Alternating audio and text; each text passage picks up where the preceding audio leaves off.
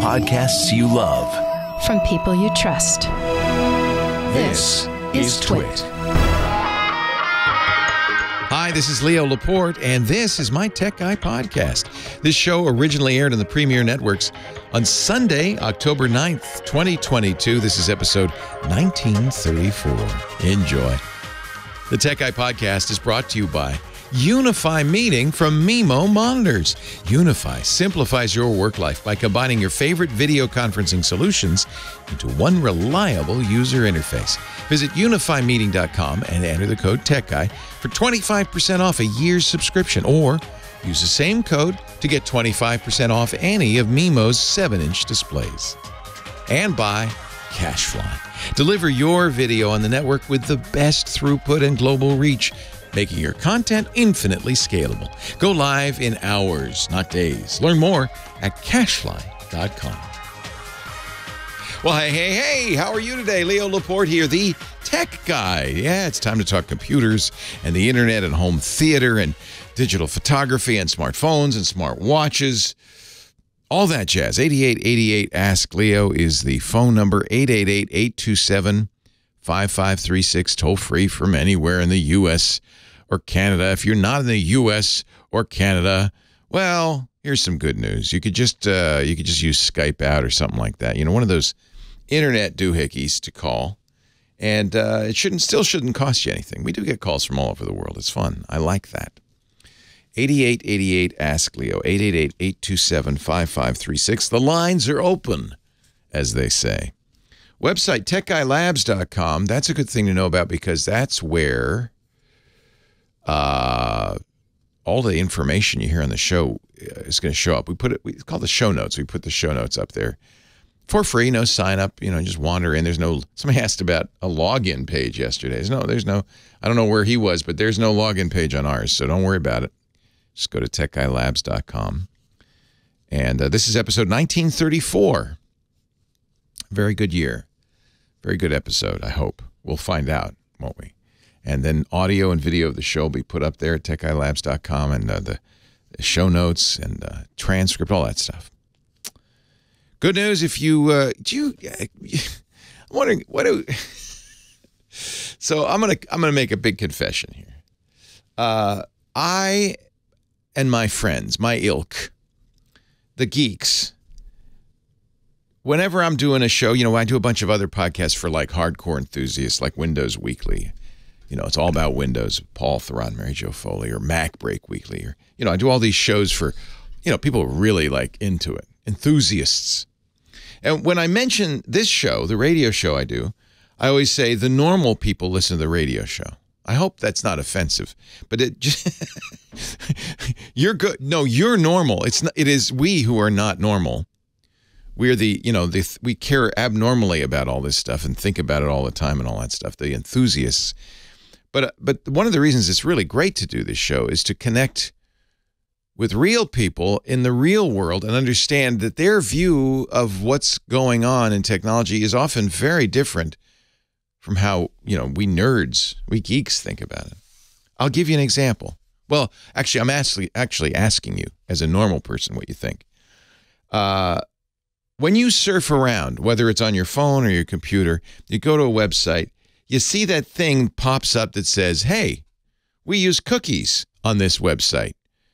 And then sometimes it says, you know, what's your preference? Sometimes it doesn't even say that. It just says, you want to know more? Click this link. Otherwise, say OK. Eh, the, the infamous cookie consent banner. Have you know, just out of curiosity, do, do you notice that, right? How annoying is it to you? It's very annoying to me it, uh, it comes from European regulations, European uh, privacy regulations. And it really comes from a complete misunderstanding of how the internet works. Euro European privacy regulations, I'm essentially all for. I mean, privacy, yeah, good thing, not a bad thing, good thing. But they had decided some years ago to demonize cookies. And I think a lot of people, you again, speaking as a geek, we kind of know what those are all about. But I think a lot of people, uh, normal people, probably go, "Yeah, cookies bad," uh, and so the theory, I guess, is this site is now warning you. Well, we use them. Good luck. Have fun, because they're required by law to do so. Only for Europeans, but it's such a pain. You don't. Very few sites say, "Well, is this person from Europe?" Okay, I'll show it. Otherwise, I won't. They just go, "Yeah, pop it up." It's too hard to be sure if somebody's coming in from a country covered by those regulations. So, you know, pretty much all websites do it. The cookie consent banner. Uh, just, you know, for background, just to fill you in a little bit, it's a complete waste of time. It's completely stupid. it's a, in fact, it's probably a bigger, get this, a bigger violation of privacy than the cookie. What are cookies? I guess we need to understand what cookies are. So when you have a program, you're working on a, you know, Microsoft Word document or, you know, you're you know, you're playing Candy Crush or whatever. Uh, when you close Candy Crush or Facebook and then reopen it, it knows who you are and where you are, right? It knows how many, what level you're on and things like that, right? How does it do that? Cookies. It's in a program on your computer. It's called preferences or save settings or you know save my current situation kind of thing. So when you're using playing Candy Crush on your PC, it just saves that to the hard drive. When you're on a website, same thing. Uh, when you're on Facebook, it saves a cookie on your computer that says who you are so you don't have to log in every single time. And if you want to know what these cookies do, it's easy. You go in your browser, clear all the cookies. And then you'll see you have to log in again to every site. You have a lot of stuff that the sites don't remember about you, your trouser size or what level of Candy Crush you're on, that kind of thing. That's what those are. They're, they're simply preferences. And, and, and really, uh, they've been around since the web started.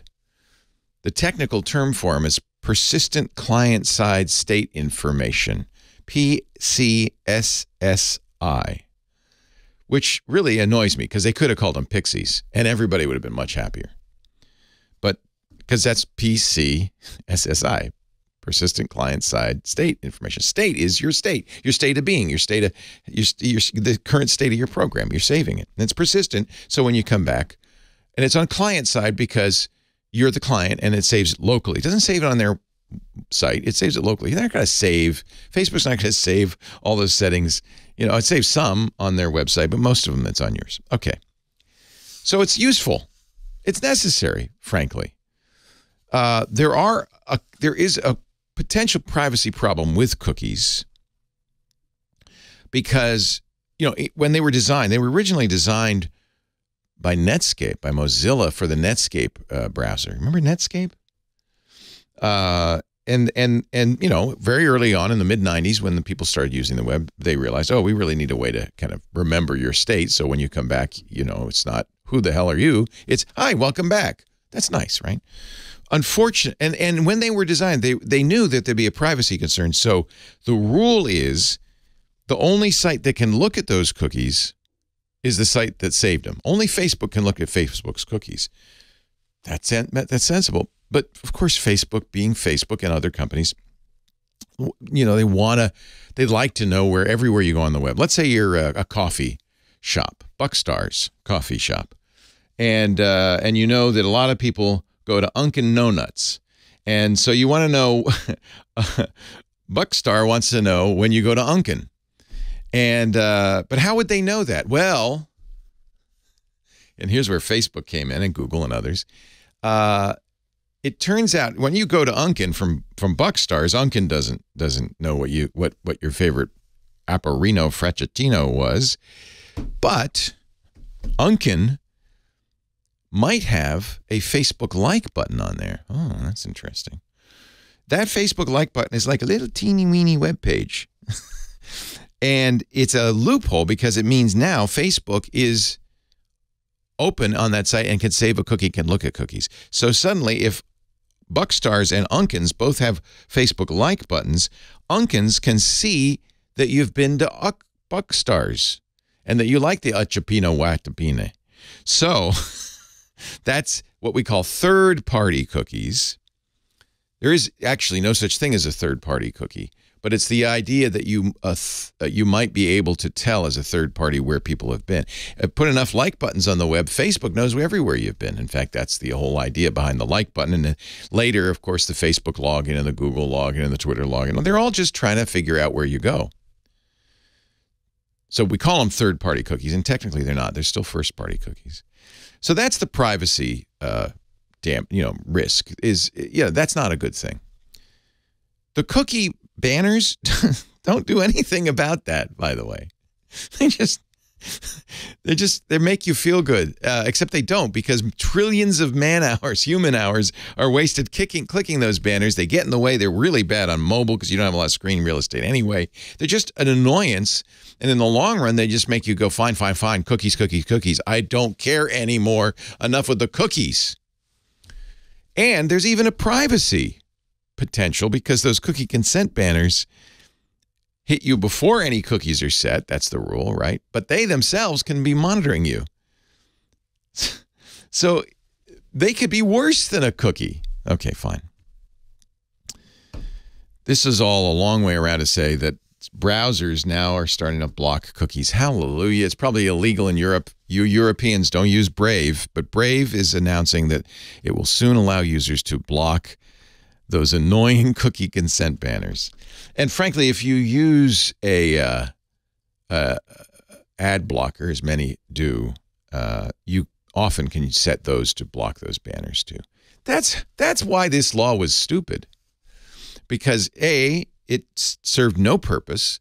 It annoys people, wastes a lot of bandwidth, wastes a lot of time, is potentially privacy invasion, and then ultimately teaches people how to use ad blockers and other technologies to turn them off. Exactly the opposite of the intent of the EU. Congratulations. You're big winners in the stupid law category. Anyway, I, that was a. I, sorry about the long explanation. All to merely say the Brave is going to start doing that. Enough. 8888 asked Leo, I've wasted my whole first segment explaining cookies. But now you know, right? I think it's a good thing to know. And as a normal person, does this annoy you? Sure annoys me, and I'm not normal. Leo Laporte, the tech guy. No, I want to see you now. telephone operator, why don't I? Hello, telephone operator. Hello. Hi. I, wa- I want to get you, that's Kim Schaffer, the phone angel. I want to get you that headset Yes. with a you know old fashioned microphone on the, and then uh, may, like some some uh, jacks that you can plug into a switchboard. Oh. Then you'd be a telephone. that would be operator. fun. Hello, who is, Is this this? the person to whom I'm speaking? is this the person? Hello. So Kim does a, such a good job, and you, you her laugh isn't it great? Uh, people love your laugh. Uh, she answers the phone. She's the person who prepares you for your appearance on national radio. yes. Do you have have you prepared someone for I me? think that I have. Are they ready? There's a couple of people.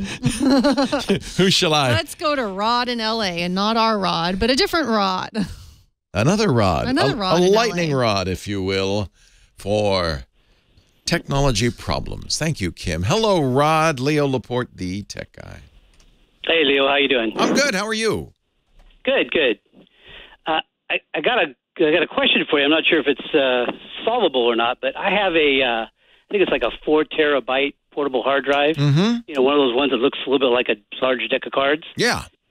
And uh, it was kind of working fine, and then all of a sudden one day it just stopped being recognized by the computer. Yeah. And I plugged it into multiple computers and multiple. So usually that's not the drive. Could be. A lot of things that can fail, but that's a USB enclosure that you have. And inside that, if you open it up, you'd actually see there's a little drive, or sometimes uh, for big ones, two drives. And uh, the drives may be just fine. But the USB circuitry or even the USB cable could be bad. So yeah, I you- tried different cables too. Good. Yeah. So that's how we fix problems. We troubleshoot them by doing the easy things first. So the easy thing is, well, let's just see. You did, you're good. You you try, you did. Let's try it on some other computers. No, no go. So it's not the computer. Try some other cables. No go. Okay, so it's not the cable. So now we know it's that enclosure and that drive. So two things could have gone wrong. There's circuitry in the enclosure that takes the output of the drive, which is ATA or SATA, and turns it into USB. So there's some some circuitry that does that. You can get tried. What I would do next is try uh, take the drives out. Now, if it's two drives, that's problematic because then there's some RAID software in the firmware of the enclosure, and usually that's proprietary, and it means the contents of the drives will be kind of unreadable without some extra effort. But if it's just a single drive in there, and it probably is, four terabytes isn't huge uh, these days. It is huge, but it's not these. So if it's just a single drive, you take it out of the enclosure. There'll be little screws. Sometimes you have to pry the rubber feet off the bottom to get to the screws, but there'll be little screws. You can take it out, and then Well, this has no screws on it either. It's. I'd well, it could, like, I guess it could be pry glued. off the cover of it. I guess it be, could be glued. Who makes it? Uh, Western Digital. Okay. So look, yeah, there. You know, sometimes there's a release. There's a way to get into it if you have to pry it with a screwdriver. I hate to do that because that'll probably damage the case. But, but if you really want the don't need to data, the- I don't need to keep the drive. I just want to get the information. You want the it. data, of course. That's what's important. Yeah. So uh, if you go to, there are a number of companies that make these. Uh, NewerTech uh, is the one I usually send people to. N e w e r t e c h. They make a USB adapter, which is a, just a, it's actually a good thing to have around if you're a geek. Uh, they call it the Universal Drive Adapter. It's about fifty bucks, and it has it's just a cable, USB cable on one end, and then there's a big dongle on the other end that has all sorts of connectors for drives and stuff. And so you can connect it to any two and a half, three and a half, or five and a quarter inch drive, whatever. It's got the circuitry inside the dongle to do it USB. So it's a it, you wouldn't want to use it all the time because the drive is out in the air exposed. But it's really good for this kind of situation. Now, if it's the drive, this isn't going to solve it, and it's hard to know if it's the drive or not. The fact that when you plug it in, usually if it's the drive, you'll still see the USB interface. You just won't be able to access the data. The fact that it's not showing up to me usually means that the USB is what's broken. That's good news because that's easily fixed. Okay. Okay. So get Yeah, the- when I when I when I do plug it in, you know, some, when you plug these things in, Yeah. the computer will oftentimes give you a little beep, ding dong kind of. Yeah, Yeah. It's doing that, Yeah. but then nothing happens. Okay, that's interesting. Um, well, that means it sees there's a USB device connected, but it but it's I I still think that that sounds like it's a USB. It's hey, it's worth forty five bucks to find out, right? And actually, uh, the chat room's putting some links to even cheaper devices. I just have never tried them. Uh, and also, oh, good. Thank you, Twisted Mister. A link to, to whatthetech.com, how to open a Western Digital enclosure. Nice. Oh. See, the chat room is good at this stuff. How So, do, I, how do I actually get to your chat room? I've tried that a couple times. Haven't any web browser, go to irc.twit.tv. IRC is Internet Relay Chat. That's the old, old, old, old, old school chat. Predates the World Wide Web, actually. It's that old. Uh, IRC.twit, which is my podcast uh, site. TWIT is thisweekintech.tv. And you can do it in a browser, but there's also instructions there if you want to, if you really are old school and you want to use one of them old school IRC clients, it tells you how to do that too. But uh, I will put both these links in the show notes as well, if you if you can wait. Sure. How to open a Western Digital enclosure? Yes, screwdriver, narrow, ultra thin flathead or credit card. Oh yeah, see there is there is uh, there's a hook and a thing and a jingadabanga, but you can get into it. I think without damaging it. And then once you're into it, get one of those connecting devices, put it in the computer, and if it still doesn't show up, yeah, then it's the hard drive. Then it's a whole nother story. Sam Abuelsamid coming up, car guy, right after this. So you know, then it's it's a data recovery issue. Ooh, what's this? Oh, this is that kind of Western Digital. Yeah, the boy that uh, that looks like you'd have to pry it open. Is it? Is it? It's like a really small one. Yeah. Yeah, Like I said, it looks like a deck of cards, but it's kind of like a wide deck of cards. yeah, that's what this is. This is the uh, passport. Um, yeah, I think you'd have to. Yeah, oh, that's it. yep, I think you. Mine's a little thicker than that, is all. You'd probably have to pry it open. I bet you can. I mean, you're going to damage the case because it's just plastic. So, Yeah. Um, I don't really care about the case. but once once you get that drive out, and this is if it, these are uh, two and a half inch laptop drives, so you can just plug that in. They get power and data on one cable. Uh, the uh, NewerTech can handle that. So can probably these eleven dollar versions. Uh, I just have never tried them. I have the NewerTech and I use it all the time. It's very handy. You wouldn't want to leave. You wouldn't want to leave the drive out with its ex, you know exposed uh, uh, forever. But for copying that data off, that's exactly what you want. Then if the drive's dead, okay, now it's a different matter. You got to you know SpinRite and various drive recovery tools and so forth. And it may just be non-functioning. You know, sometimes drives just die. There's a lot of heat. If you think about this case, uh, it doesn't dissipate heat real well, right? So the- the, drives are these are these are hard on drives. no fan, very tight enclosure, uh, and this is because it's not metal. It's really not a lot, a lot of maybe yours is aluminum. I don't know. This feels like plastic. It doesn't. It's not going to transmit a lot of heat. So Western Digital, they don't care. They want you. They want them to die because they want you to buy another one. Good old Western Digital. Yeah. um, okay. So I will try that, and then otherwise, uh, like I, you know, I, I went to Western Digital website, and they basically said, okay, here's these companies that can help you get the information. Yeah, so like drive savers, but like that's four very, very, very expensive. Thousands of dollars. and it's not worth that. The, the information not worth that Yeah. Us. Yeah, they have drive savers is a hoot. They have uh, grief counselors that you call, and they'll help you, but it's expensive because what they're going to do is rebuild the drive. I mean, yeah, just the best thing to do is uh, get this this drive adapter. You'll use it again. I keep it in a drawer. It's always handy because drives die. It's a way to connect them. And if it's just the USB interface, this will fix it. If it's the drive itself, you you know you can get SpinRite. You have to now you have to mount it on a SATA adapter because it has to be fully accessible. USB hides a lot of the details, and so you need something like you need a computer you could hmm. attach it to directly with eSATA or something. So SpinRite. That's a That's that's my friend Steve Gibson's program, grc.com. It's 90 bucks. So it's more expensive than a new drive, but if there's data you got to have, that's the first thing I would. That's after you get the drive out and it doesn't work. Okay. But but you know what? That- Don't even buy that. If you put this in a computer on a SATA connector and you can't see it, SpinRite won't help. SpinRite's only if you can see it, but it's limping along and you can't read from it. And you know it says this drive is un. If it says this drive's unformatted, then SpinRite.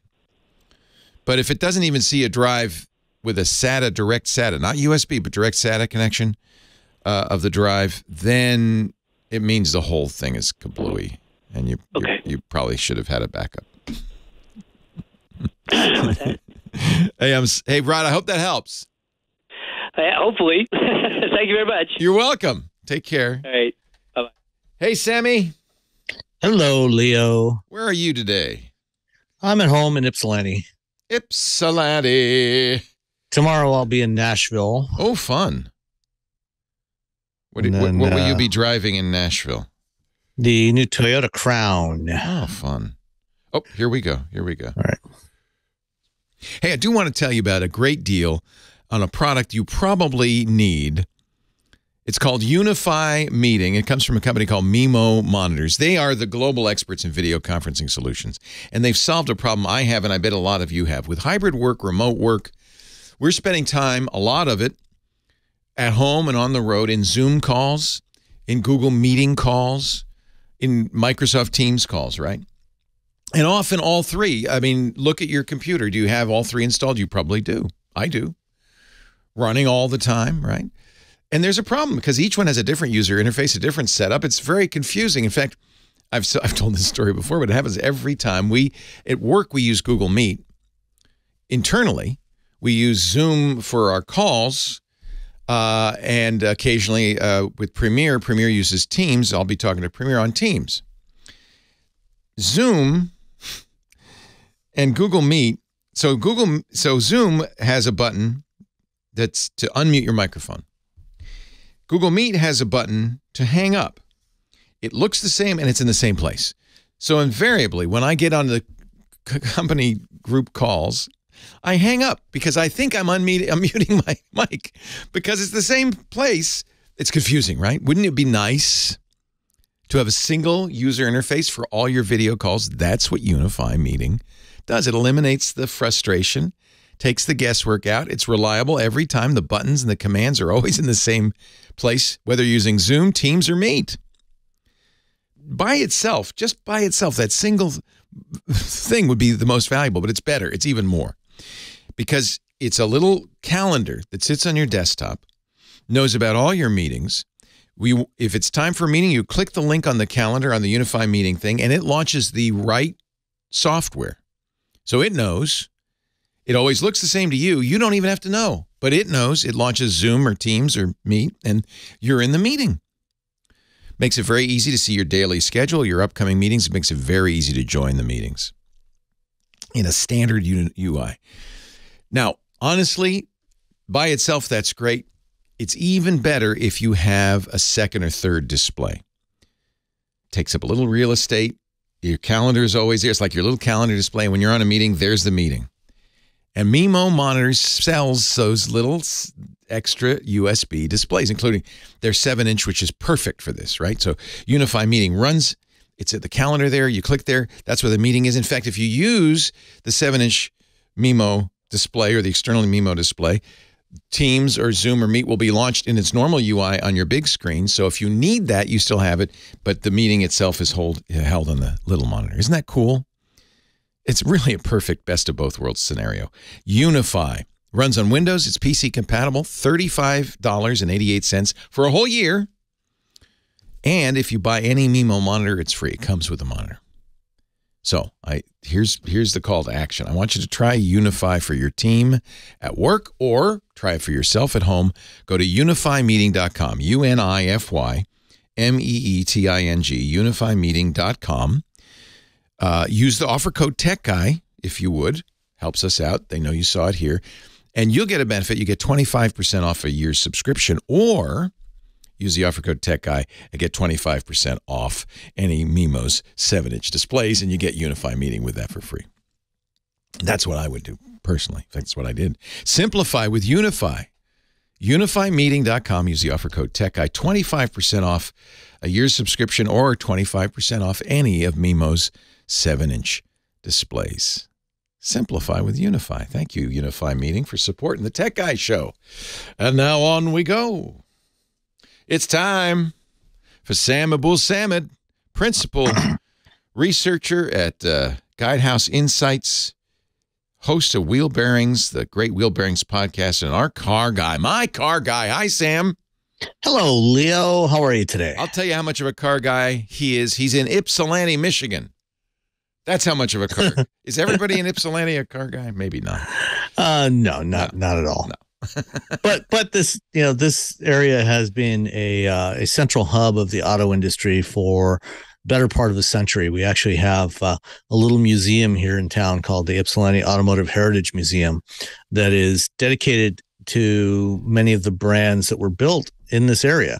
Uh, is it near Dearborn where the big Rouge River plant is? It, it's we're about uh, 28 miles okay, west. So there's probably workers the, the Rouge. From, from Rouge yeah. that, that live but, there. I mean, we've we've had car plants here. Um, you know, we had um, the Corvair was built here oh. at the uh, Willow Run Assembly Plant. There you go. Um, but also before that, the Tucker was built oh, here. Oh, nice. Um, the uh, uh, oh what am I blanking on the name of the brand? Was it Tucker handmade? Um, I feels like it might have been handmade. They they were pretty much. Yeah, I mean, they yeah. only made like fifty two, I think. Yeah, so they were all pretty much hand built. Uh, but there there are quite a few brands that were built right in this area here. Uh, so it's it, it's a pretty cool area for for automotive history. So I see you sitting in front of a Ford charging cable, and uh, I would guess it's being plugged into a Ford vehicle, electric vehicle. That's my mm-hmm. guess. I'm just guessing. Yep. And the, the reason why I've got this particular image, uh, this is an example of using uh, the Ford Charge Station Pro with uh, the F 150 Lightning um, to because that system has what's known as bidirectional power capability. Oh, that's and cool. this is oh that's and cool. this is so you can use it to back up your house if your power goes out, but you can also do a lot of other interesting things with it. So we have is, a number of electric vehicles, as you know, and mm-hmm. in our case, all we did is we put in one of those RV or dryer outlets, a NEMA 1450, which you see, those are commonplace. It has yeah, to that's have, what I have in my garage. Yeah, it has to have more, it has to have a 40 amp circuit behind it. Mm-hmm And then I bought, I went out and I just bought uh, Grizzl-E, makes them, but a lot of companies make them, just a little box that plugs into that and then plugs into your car. And and so that's all we did. But this Ford thing has a lot more capabilities. I, the only reason I mention that is a lot of companies, Tesla too, sell very expensive charging things that you don't you don't necessarily need, right? Right. Um, you know, mo- most EVs come with a charging cable in the vehicle um, that you can usually plug and, into a NEMA 1450 in many yeah, cases. and, and yeah. uh, originally early on, uh, they were they would only those were only for plugging into a 120 volt standard. yeah, the, one, household the. Bolt when we got But it they- a couple of years ago came with a normal plug, and if you Right. if you plug into the wall like your regular normal plug, Take you about three days to charge Yeah. it. yeah, it's Yeah. really slow. But um, yeah, now a lot of automakers are starting to include uh, 240, or uh, actually, they're including cables that have an interchangeable tip on them, Yeah, so that you can plug it into either a 120 volt outlet or a 240 if you have one. So It's you can plug it into a NEMA outlet. when you get yeah, an electric vehicle, like what do you? Because sometimes they, it, they it's an upsell; they'll charge you extra. right, but um, those are mainly just unidirectional, so they will send electrons from your household circuit into Right. your battery in the car. That's what's interesting about this. So this This, was this is bidirectional. yeah.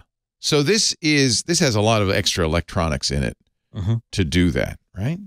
Right. And you also need some extra circuitry in the car as well. So the onboard charger in the vehicle also has to have bidirectional capability so Oh, you can send it out. I thought all electric Um, vehicles could do that. So this box no. is an in, what they call an inverter, right? That takes the Well, no, th- this this particular box is not an inverter. oh, Uh, so this uh, this works in conjunction with an inverter. So uh, when you buy a. Lightning, you get this particular wall box with the truck. It comes comes bundled with it, uh, and then you have to buy a, a separate smart inverter that Ah. has a transfer switch um, because the power coming out of your out of your truck is DC, um, and so you need to convert that to AC for your house. right. Um, and so what we're starting to see now is more and more vehicles that are equipped with bidirectional onboard chargers, so they can also put out power, put power out. Uh, so Ford's done this. Um, the Nissan Leaf has actually had this for for quite a while because the CHAdeMO charging standard, that it's a Japanese charging standard that they use on the Leaf, um, has always or has long had support for bidirectional capability. It's just now becoming standardized with C with CCS, the which is the, the typical standard used here in North America.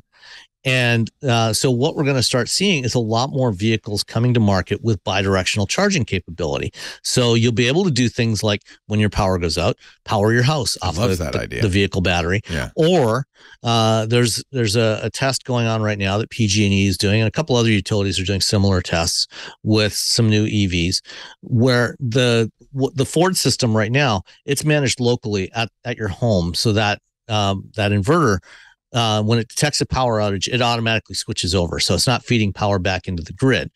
But um, some what uh, PG&E is doing with both GM and Ford is they're testing a system where they can manage it remotely. So when they're reaching peak loads on the grid, and there's a, a, a uh, a chance that they may have to start doing rolling blackouts or brownouts, then what they can do is reach out to vehicles that are opted in um, and switch those over. And if they're plugged in, they can switch switch those over for some period of time, for you know maybe a couple of hours or so, uh, to power those homes off of that and take those homes off the grid temporarily to reduce the load, so they they can avoid the the blackouts. Um, and this is something you're going to see more of going forward. This is one of the things that utilities are looking at as ways to manage, you know, when vehicles are charged, you know, when and and uh, be able to distribute power more reliably.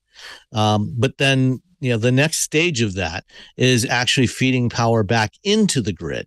And um, right now, none of the consumer vehicles have that, are going to have that capability. Well, none of the consumer equipment has that capability.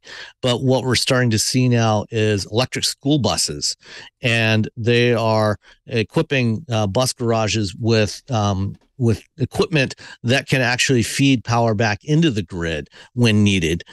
And school buses are a great use case for this because of how buses are used. You know, during the day, they're typically out on runs in the morning, out on runs in the afternoon. Most of the rest of the time, they're sitting in the bus barn doing nothing. And so, And they're just um, big you know, old batteries just sitting there. and there. they're big, yeah, big batteries sitting there. And so there's an opportunity there to send power back into the grid when it's not needed by the bus. Um, and that can generate some revenue for the, dis- the school district that's running those buses and also make the grid more resilient.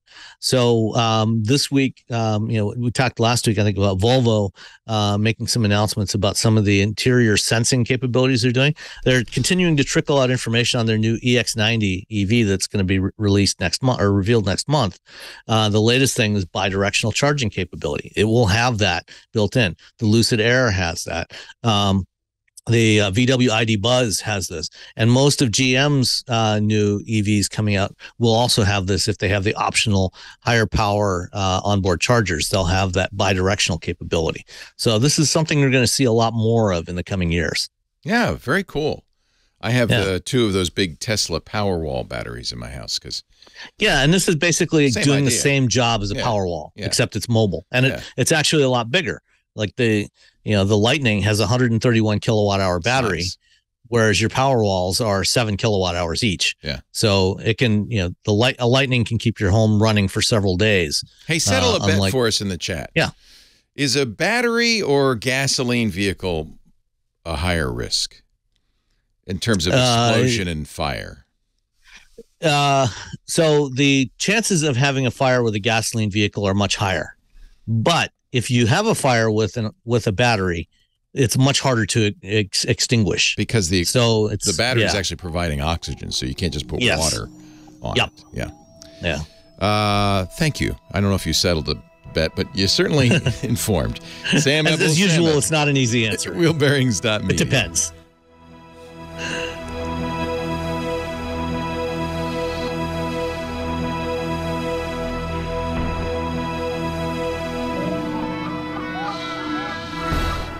Electric vehicles don't catch fire nearly as much as gas vehicles. Actually, hybrids are the most dangerous, which is interesting, followed by gas vehicles.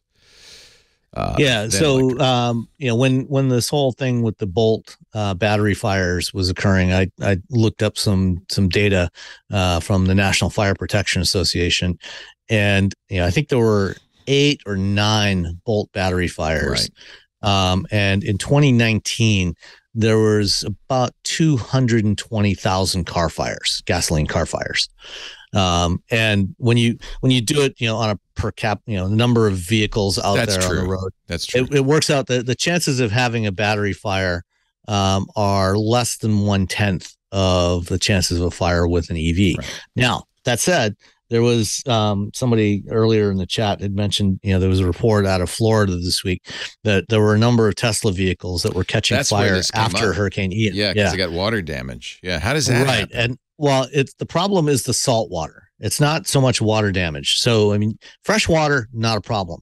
But the salt water causes a lot more corrosion. It can get into Ah. places where it shouldn't be. Um, and uh, uh, back a decade ago, when Hurricane Sandy hit the Northeast, um, Fisker Automotive, the er- first iteration of Fisker Automotive, they had um, something like 250 cars that had just come off a boat that were sitting in the port in New Jersey, and the port got flooded Oh, I remember that. um, Yeah. during the hurricane, and um, I think about. 10 or 20 of those cars caught fire again for same thing salt water getting into places and the minerals in the salt water causing short circuits um, so salt water is a lot higher risk factor than fresh water. Um, fresh water generally not, you know, vehicle EVs can go through fresh water without any issues. You know, that's why you can, you can take a Rivian, you know, and drive it through 30 inches of water without a problem. But um, you don't want to do that um, with salt water. You don't want to take, you don't want to take it to an ocean beach uh, if you can avoid it, because that, that corrosive material in there is, is very bad. Now, this is, um, you know, one of the things that major automakers do as part of their durability testing is they do a lot of saltwater intrusion testing. You know, they'll they'll run vehicles through uh, a big long salt bath thousands of times during their durability testing uh, regime, and you know, I don't think that uh, some companies that will remain unnamed necessarily are quite that rigorous with their durability testing. Um, you know, because so far all of the incidents I've seen in Florida have all been involved Teslas, not uh, not any other brand of EVs. So I don't know if there's a, a particular Tesla problem with saltwater intrusion, um, or if, if, it's a more general problem. Uh, but uh, uh you know that that is definitely something to uh, to consider. Um, let's see, redacted something like 20,000 luxury cars under the sea. Yeah. Um, and actually, you know, earlier uh, this year, there was a, a car car, car hauler um, that caught fire in the Atlantic. Uh, coming over from Europe, it was carrying about 2,000 yeah. uh, Volkswagen Group vehicles, yeah, some uh, a bunch of VWs, Audis, uh, Lamborghinis, Bentleys, uh, and it went down in the middle of the Atlantic after there was a fire uh, that uh, some of the vehicles on there were EVs and, and they caught fire and it really exacerbated made it a lot harder to put out the uh, yeah. the fire. Yeah. Sam, you want to stick around for the top? Uh, unfortunately, I can't. I've got to go run a couple of errands. No problem. So um, I will week. talk to you next week. See you next week. Thanks. All right. Bye-bye. Bye. Leo Laporte, the tech guy. A little bit of rock and roll. A little bit of. That would be a good song, maybe. I'm a little bit of a geek. You're a little bit of a nerd. Let's get together and start a Comic Con. 8888 Ask Leo, the phone number. Jay on the line from Columbia, South Carolina. Hi, Jay. How you doing, Leo? I'm well. How are you? I'm doing good. The long time listener, first time caller. I always enjoy listening to a lot of your different podcasts while I'm busy working. It makes the day go by nicely. Thank you. Thank you. I hope we don't um, bore you over uh, over time. I'll try to keep it interesting. Not at all. Uh, makes the day go by quickly. Yeah. Um, good. My wife got a job in England, and we're moving over there in a couple weeks. How exciting! I, we were very excited about it. Um, but uh, it's a you know it can it can be uh, as short as three years, but if we could go longer. But all my family members have their phone numbers that they've had for quite a long time, and we want to keep them um, when we returned to the states, and it was trying to figure out the best way to do that. Can we port them to like a Google Voice service? You could. I wouldn't recommend it. You should ask the uh, phone company that provides those numbers if they'll put them on hold for you. Uh, most of the time, you could say, "Look, I'm I'm going to be out of the country for three years. That's a long time." But ask if they'll hold those for you. Uh, and then if they say, "Well, we can't guarantee it for three years," By the way, they may say we want those numbers, but from th three years from now, I doubt they'll still they'll want those numbers. But uh, then you can do that. You can uh, port do international number porting, uh, and the easiest way to do that is to do it to something like Google Voice or Twilio. So if you look for international number porting, you know you can't go. Obviously, you know a, a U.S. number with a U.S. area code is not going to work in jolly old, but there are right. you can port it to submit to various internet providers. But I'd first ask the phone company if they'd hold it for three years. A lot of times they, you know, they hope to get you back. Uh, the other thing you should know is that in almost in all, all, likelihood, you won't be using text messaging in the UK. You'll be using WhatsApp. So you might as well get the family used to that. Especially the younger people probably don't care so much about phone numbers. They care about messaging. And uh, text okay. messaging is is big still in the U.S., but almost everywhere else in the world they use uh, one of these internet messaging services like Facebook Messenger. Uh, in Japan, they use Line. In uh, China, they use WeChat, and most of the world uses WhatsApp. Uh, so, so iMessage. Um, yeah, you know th th that's the other thing you'll notice is uh, that the iPhone, which is much more dominant here is about 50% uh, of the market here, much less so uh, in other countries. I don't know what it's like in the UK, but much less so internationally. A lot more Android phones, a lot more Samsung phones in particular. Uh, but yeah, so that's, and you know, that's that whole problem. If you're an Apple user, if your friends aren't using iPhones, uh, they're a little bit of at a disadvantage. You know, they're, they're that, that awful stinky green bubble or whatever it is, blue bubble. So, so I would I would about uh, in the UK. I'm just looking at some stats. Eighty percent use WhatsApp. So that is okay. by far the biggest. I do see it's interesting. Uh, some usage of FaceTime and iMessage, but FaceTime's only 30% of the market. iMessage is only 22% of the market. So you know, the reason people use WhatsApp is h- historic mostly because text messaging messaging uh, used to be very expensive around the world. It was here too, uh, but it's now essentially free here. Still can be expensive worldwide. So they use WhatsApp uh, because it's just data, and so and it's free. And it and by the way, it works great on Android and iOS. So if you can get your family members, especially the younger ones, onto WhatsApp, Yeah, we've we've used it before. We've had one. My oldest stepdaughter went to Panama uh, last year for school, and we used WhatsApp to communicate with her. With Exactly. That. So exactly. we've Yeah. we've been doing that for a little bit. Yeah, exactly. Okay. Yeah. Uh, so, Um, uh, so I think that that's you know that's probably the most practical shift. Yeah, go ahead. Okay, so we don't we want the the phone company to hold our numbers. Hopefully, they'll hold. Yeah, them for as long call call them up and see what their policy is. They all have a policy of, uh, th- and this is mostly for military, right? Very common. Yeah. Somebody get deployed Military. overseas, and uh, they will hold your number as you go overseas, and then when you come home, you can get it back. Who's your carrier? Uh, Verizon. Yeah, I would ask them. You know, uh, different carriers have different.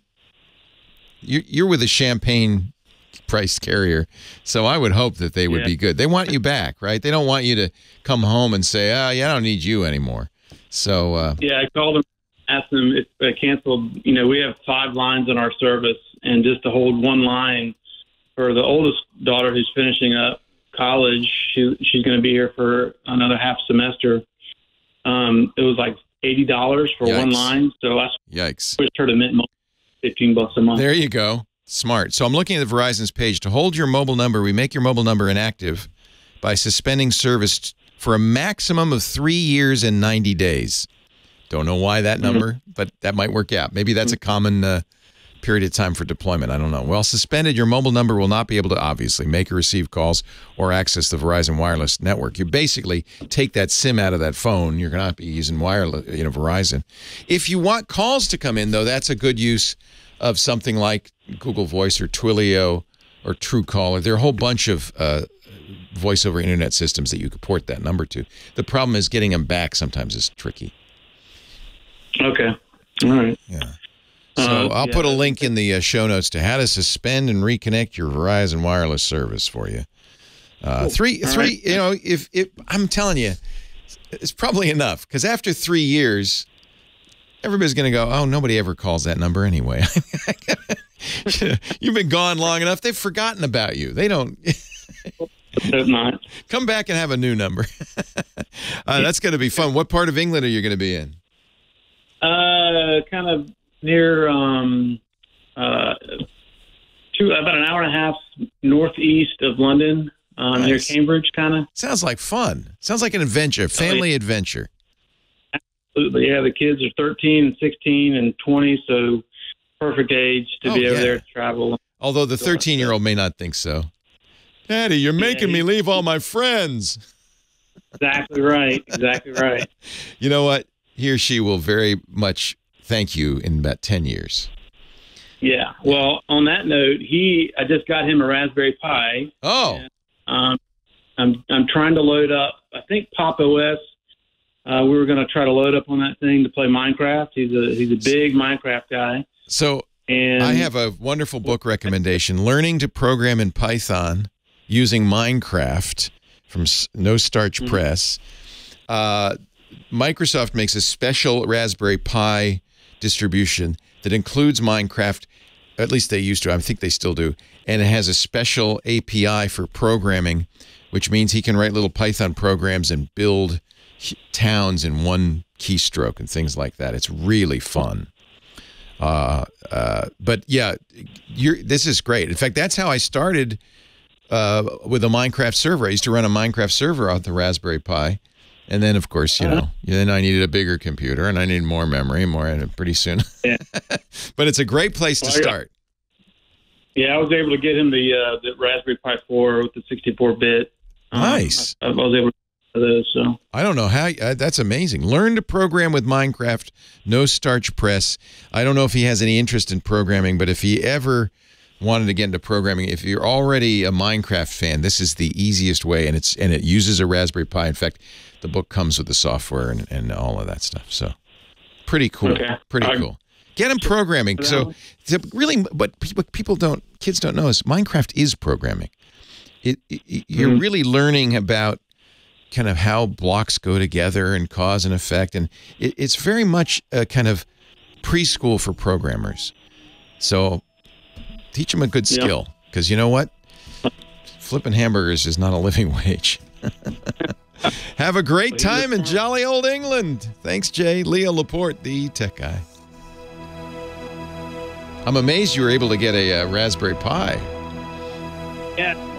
Where did you get it? Um, uh, Canna, Canna, I think was that CanaKit. Oh, CanaKit. Yeah, they're good. Wow. I- Yeah. you know, because that's been a huge supply chain problem. I had I had to get the um the the uh, extreme kit. It was that eight gigs. Yeah, Um, that makes sense. They're just going to prioritize people who are going to buy a little more. That's good. yeah, and it's got the aluminum enclosure, which is you know good for a 13 year old not to get it all dusty and whatnot. So um, That's uh, We're great. pretty, and we're we, we're got it hooked up to monitor and trying to get it programmed right now. Nice. Um, so the the the no starch press kit is that where can I get that? Uh, online, Amazon. I put a link in the show notes, nostarch.com slash programming with Minecraft. But that has all the information to run Minecraft in this special Windows distribution. Okay. All right, and can I? Well, I I, I use a Mac, so I can download all that stuff and then put it on a. Well, that's on the Raspberry Pi. Yeah, you put it on the Raspberry Pi. Yeah. Yeah. Raspberry Pi comes with a Raspbian, which is a Linux. It's a Debian Linux. So he's already using Linux with the with the uh, default operating system for that. Right. We and we tried to download Microsoft Minecraft for Raspberry Pi, but it or or for Linux, but we kept getting a, an error message with it. So Yeah, that's the Um, Java version. But uh, I would look at this. I hope it's not out of date. It is, you know, it's seven years old, and I don't know if. I wonder if my. Let me see here. Uh, if they still are offering the. Uh, if Microsoft is because they used to have a special distribution just for Raspberry Pi, not only with Minecraft but also with a plug-in that allows you to program it, which is what's really cool about this. Is he at all interested in that kind of thing? uh, he does know a little bit. He took computers uh, his Oh, first semester in school. Perfect. So he does know a little bit of the programming language, but he loves playing on the servers like uh, murder mysteries and. Oh, nice. um, Oh, that's great. That. Very good, but um, so but he he's very interested in programming, and so hopefully this will get him primed and uh, you know kickstart over there. Yeah, they still offer the Minecraft Pi edition. Microsoft does. It's called the Minecraft Pi edition. Uh, I will. Uh, I have a brand recent articles from September. Uh, I will put also in the show notes from the Raspberry Pi Foundation about how to how to run that. Um, so that's yes. This is this is a little different than what you were doing. You're just trying to put a, a client so he could play Minecraft. But this this is like a whole nother level. He'll be running a server that he can then play from another computer on his Raspberry Pi server. He can program it. There's a whole bunch of stuff that you can do with it. It's really cool. Okay. Yeah, it's really cool. Right. He's that's Very a cool. that's a really great gift for a 13 year old, if you ask me. No, I'm not going to give you a, a PC. I'm going to give you a Raspberry Pi. You figure it out. Yeah. Brilliant. It, has been you know, he's been kind of like shy to get into it, but I think uh, with this, you know, maybe just intimidated by it. But um, I think with some Well, that's the beauty of this. And, you know, he's probably going to have a lot of alone time when you first move. I hate to say it. Uh, this is the opportunity to jump on that where he's kind of getting, just getting his feet. He doesn't yet have a lot of buddies that he can hang out with and stuff. Um, right. yeah, I think that's a great opportunity. Oh, I, yeah. Oh, you're going to have so much fun. I'm very jealous. What a fun thing to do with the kids. I'll I'll have a pint in your honor, Leo. I Please do. that's awesome. Thanks, Jay. Yes, sir. All right. Bye bye. Bye bye.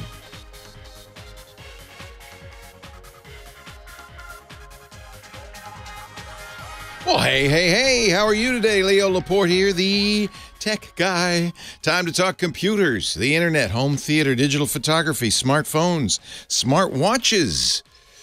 all that jazz. The new Pixel phone, if you want to talk about it, or the Pixel Watch. 8888 Ask Leo is the phone number 888 827 5536.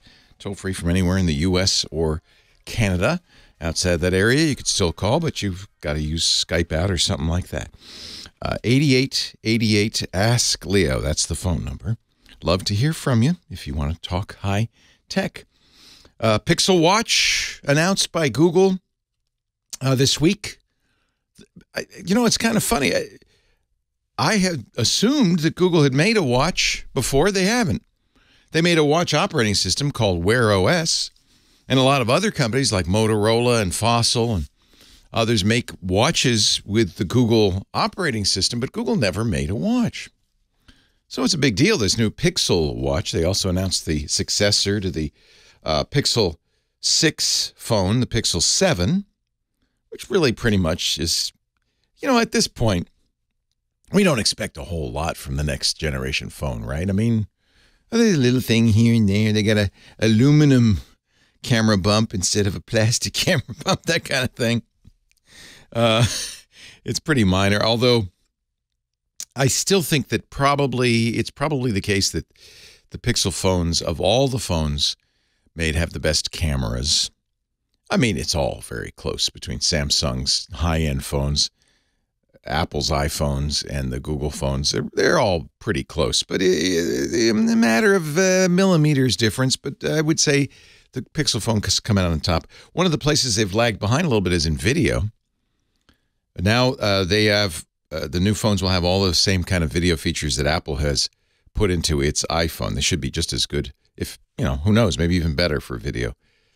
Uh, that's a minor difference. You know what? It really comes down to more uh, well, whose ecosystem you want to live in, and that's what I really it became obvious at this Google event uh, on Thursday this week.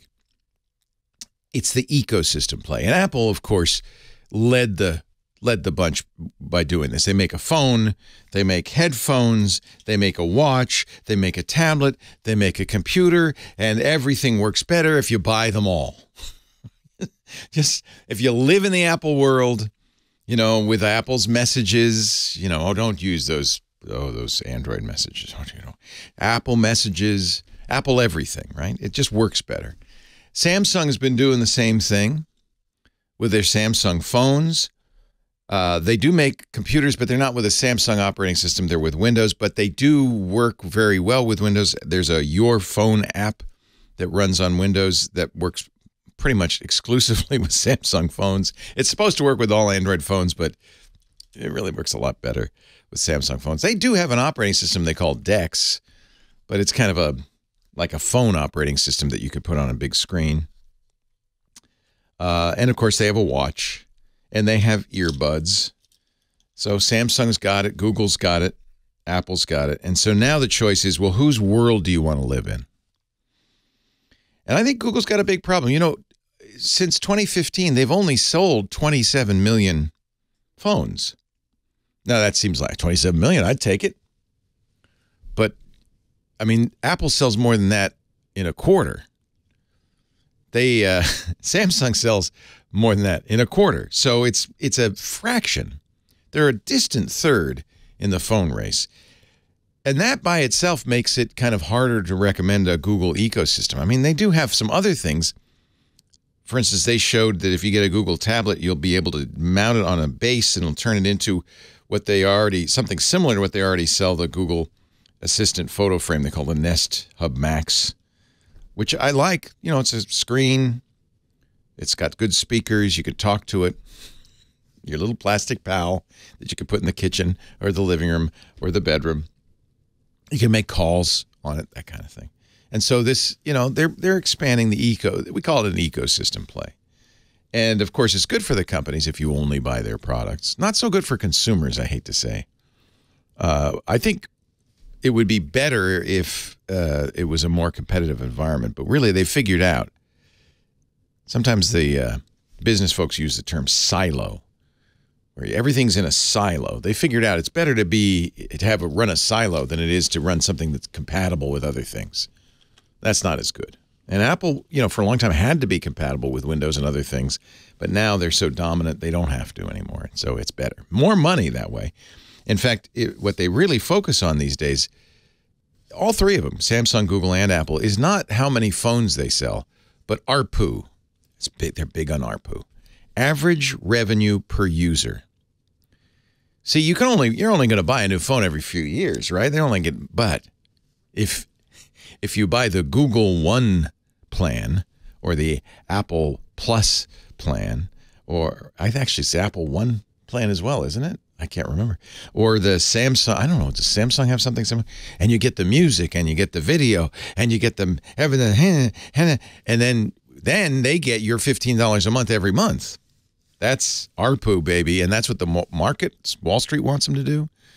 Market rewards high revenue per user. Uh, so that's what they're doing. And of course, it's the only way they can grow because they, you know, they've pretty much saturated the market with phones. Everybody's got one. And for the most part, when you enter the ecosystem, it's very sticky, right? That sounds gross. I don't mean it that way. It's it's sticky because you can't, you know, all your friends are in it, you're in it, you're everything works together. Once you buy into Apple, Google, or Samsung, you're pretty much going to stay there. It's like laundry detergent. You know, once you become a Tide user, it's very unlikely you're going to use Cheer. They know that. They want to get you early, get you young, and you know, if you're a Coca-Cola drinker, you ain't going to be drinking Pepsi. If you're a Samsung user, sorry Google.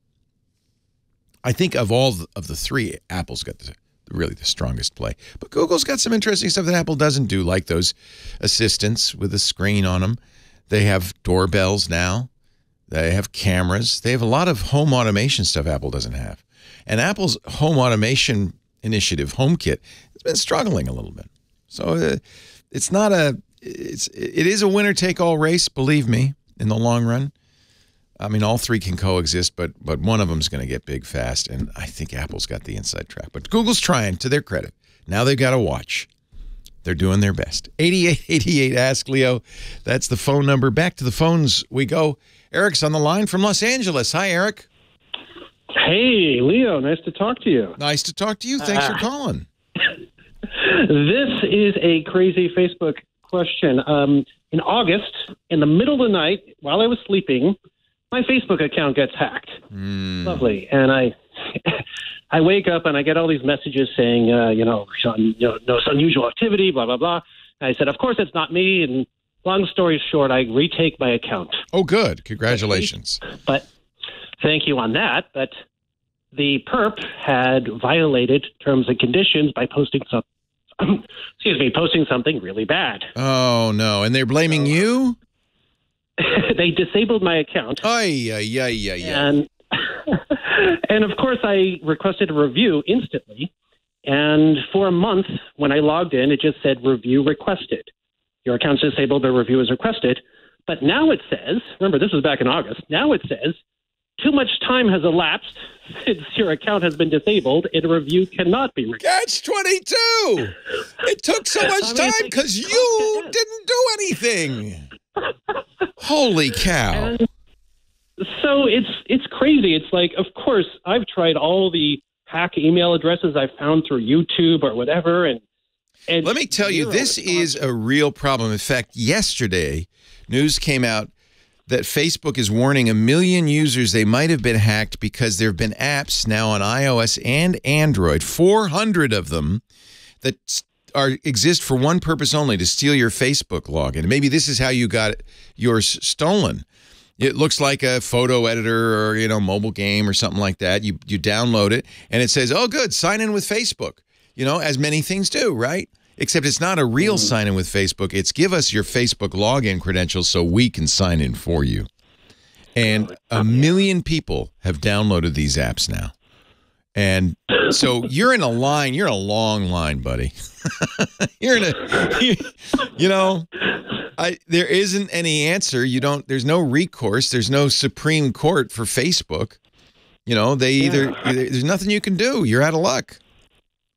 Just, just it seems that way. They're a private company. They can do whatever they want. You know. That's right. And they have three and a half billion users. They really don't care. By the way, I don't know if you've noticed, but Facebook stock is tanking Facebook itself is facing some serious existential issues. It may not be around much longer. I know that sounds amazing to say. How could that be? These guys are completely dominant. Well, they're they're suffering, and this is just one more nail in the coffin. And I feel for you. We get calls all the time for people whose accounts have been hacked. That's why I was so pleased that you got it back, because that's rare. but then, oh, maybe it wasn't such a good thing. Um, you know, you know, I can't fix this for you. You know that, and I, and I'm just sharing your pain. That's all I can say. Yeah, yeah. You've done I didn't know if everything there was could do. some sort of other No. hack or, or anything. No, there's know. no Supreme you know, Court. I'm not. There's no higher authority. You can't appeal to. You know. It's a you know I I've had this for 14 years, and I, I don't consider myself like a Facebook social butterfly. But Yeah. after all this time, you realize There's how lot of much stuff part there. of your life it is. All the Yeah. connections you had with people, and uh, It's tragic. Uh, you know, the- I know. you know it's. Well, it's I think we've all learned something here, haven't we? I don't know what it is we've learned, but I think we've learned something. I hope we've learned something. Uh, yeah, I mean, I, it's not that I don't have any sympathy. I completely sympathize, uh, but I just don't have an answer. And this is universal. This is, and there's one million more people who just got emails from Facebook saying, "Oh, hey, by the way, your account might have been hacked." You're in a very popular group. Um, yeah, I don't know what you can do. I mean, keep trying. Don't give up. Don't be deterred by that announcement. You just explain to them, well, look, you didn't. I'm trying to get this back for three months. You didn't respond. It's not my fault. Keep keep at it. Maybe you know you you got through once. That's amazing. Uh, yeah, back in August. Uh, Yeah. and, I'm so um, sorry. you know, they- just, it sucks. Yeah, and it's just a lesson uh, for all of us. Don't you know if you if you're putting stuff in Facebook, make copies, uh, save it. You know, save your not friend graph and all that stuff. You know, yeah. If you're not on Facebook, you won't be able to reach those people who are on Facebook. I just, you know, I miss stuff because I'm not on Facebook. I was just uh, told there was a big reunion of the radio station in San Francisco I worked at that just went out of business, and uh, and I missed it because where did they announce it on Facebook? So you know. and probably everyone there was probably at least 50 years old. yeah, well, I'm older than them, but I still am not on Facebook. I can tell you right now. And you're right, the youngers, the younger people, they're not on Facebook anymore. Actually, my kids are on Facebook because they see the value of it. It really is how you communicate. My my daughter's an aspiring stand-up comic. Where do you pr- promote your appearances? Facebook. That's where you do it. Uh, so it's a huge uh, value. I don't know. I don't know what we can do about this. I, it's uh, there is a bill in Congress. I doubt it'll make any difference. Call about interoperability. The idea that your data should be portable and movable to another site. There should be, you know, a new Facebook, Facebook Two, that should uh, be run better, and you could move all your stuff to. There isn't, but and I don't think a law will change that. But that's the motivation behind the law, and I think that that is a reasonable motivation. It's a real problem. These are I was talking about silos. These are silos. They're you're locked in, and if you should, you know, and this is true of Google, Facebook, every account you have, at their whim, they can kill you, and there's no recourse.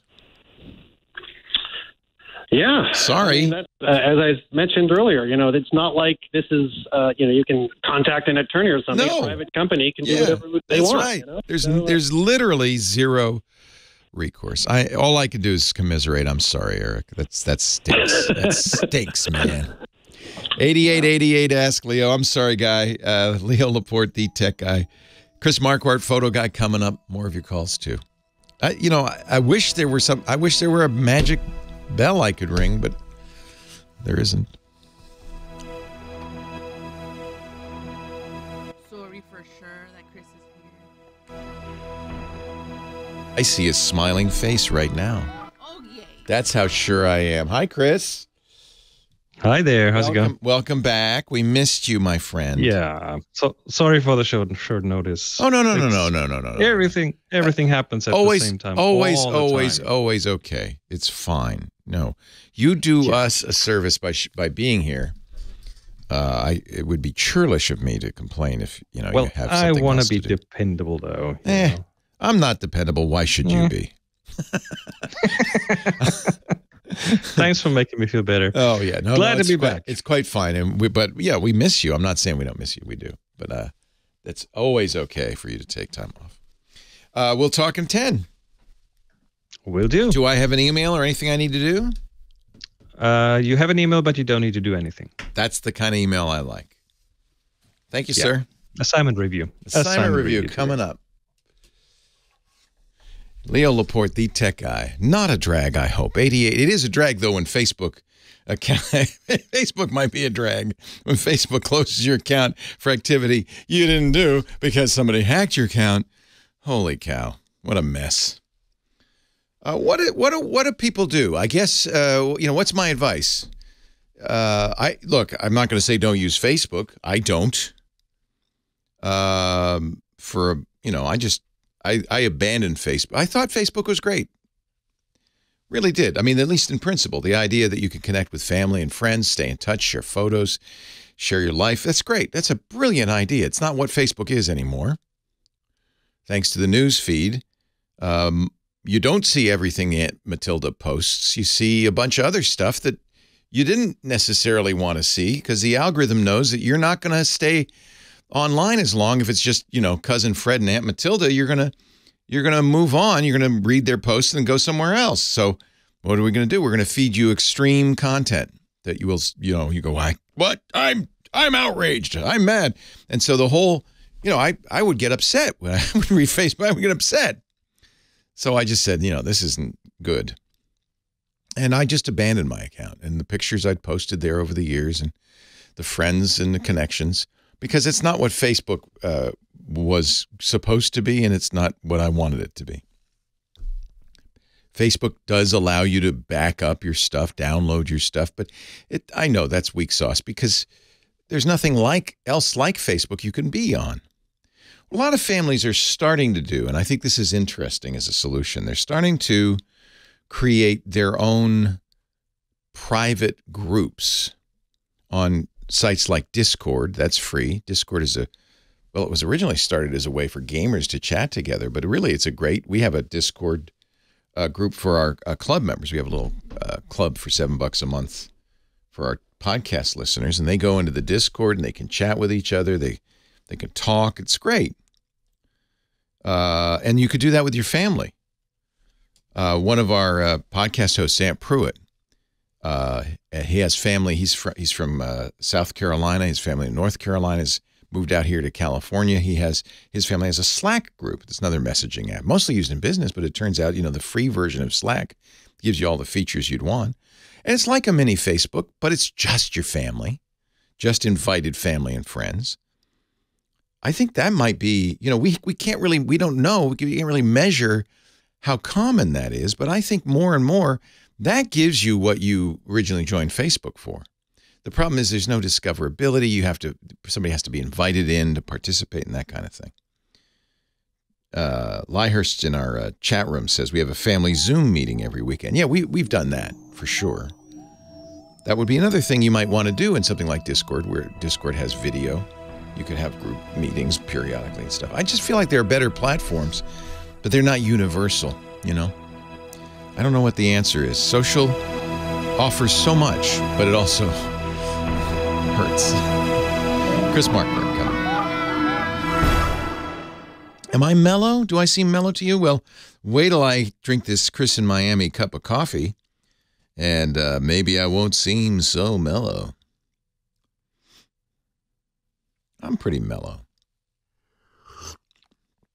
I'm a mellow fellow. Early on in my uh, career, they said, You have a voice for FM, you can't do AM radio. Do you think I have a, Laura, I have a voice for FM? I shouldn't be on the uh, AM band.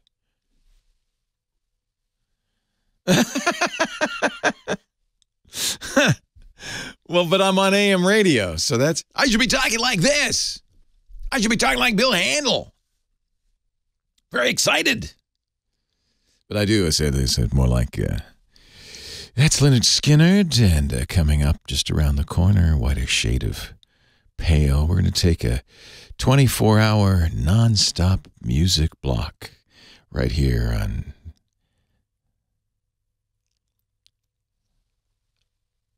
Yeah, love KCRW, the great public radio station down there. Yeah. Yeah, that was Beethoven's Ninth Symphony in B major, Opus 6.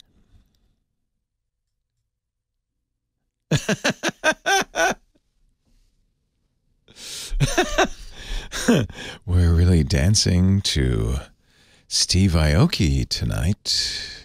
So sit back, smoke a doobie, and rock out. Not a doobie? We don't say that anymore. That's from my era.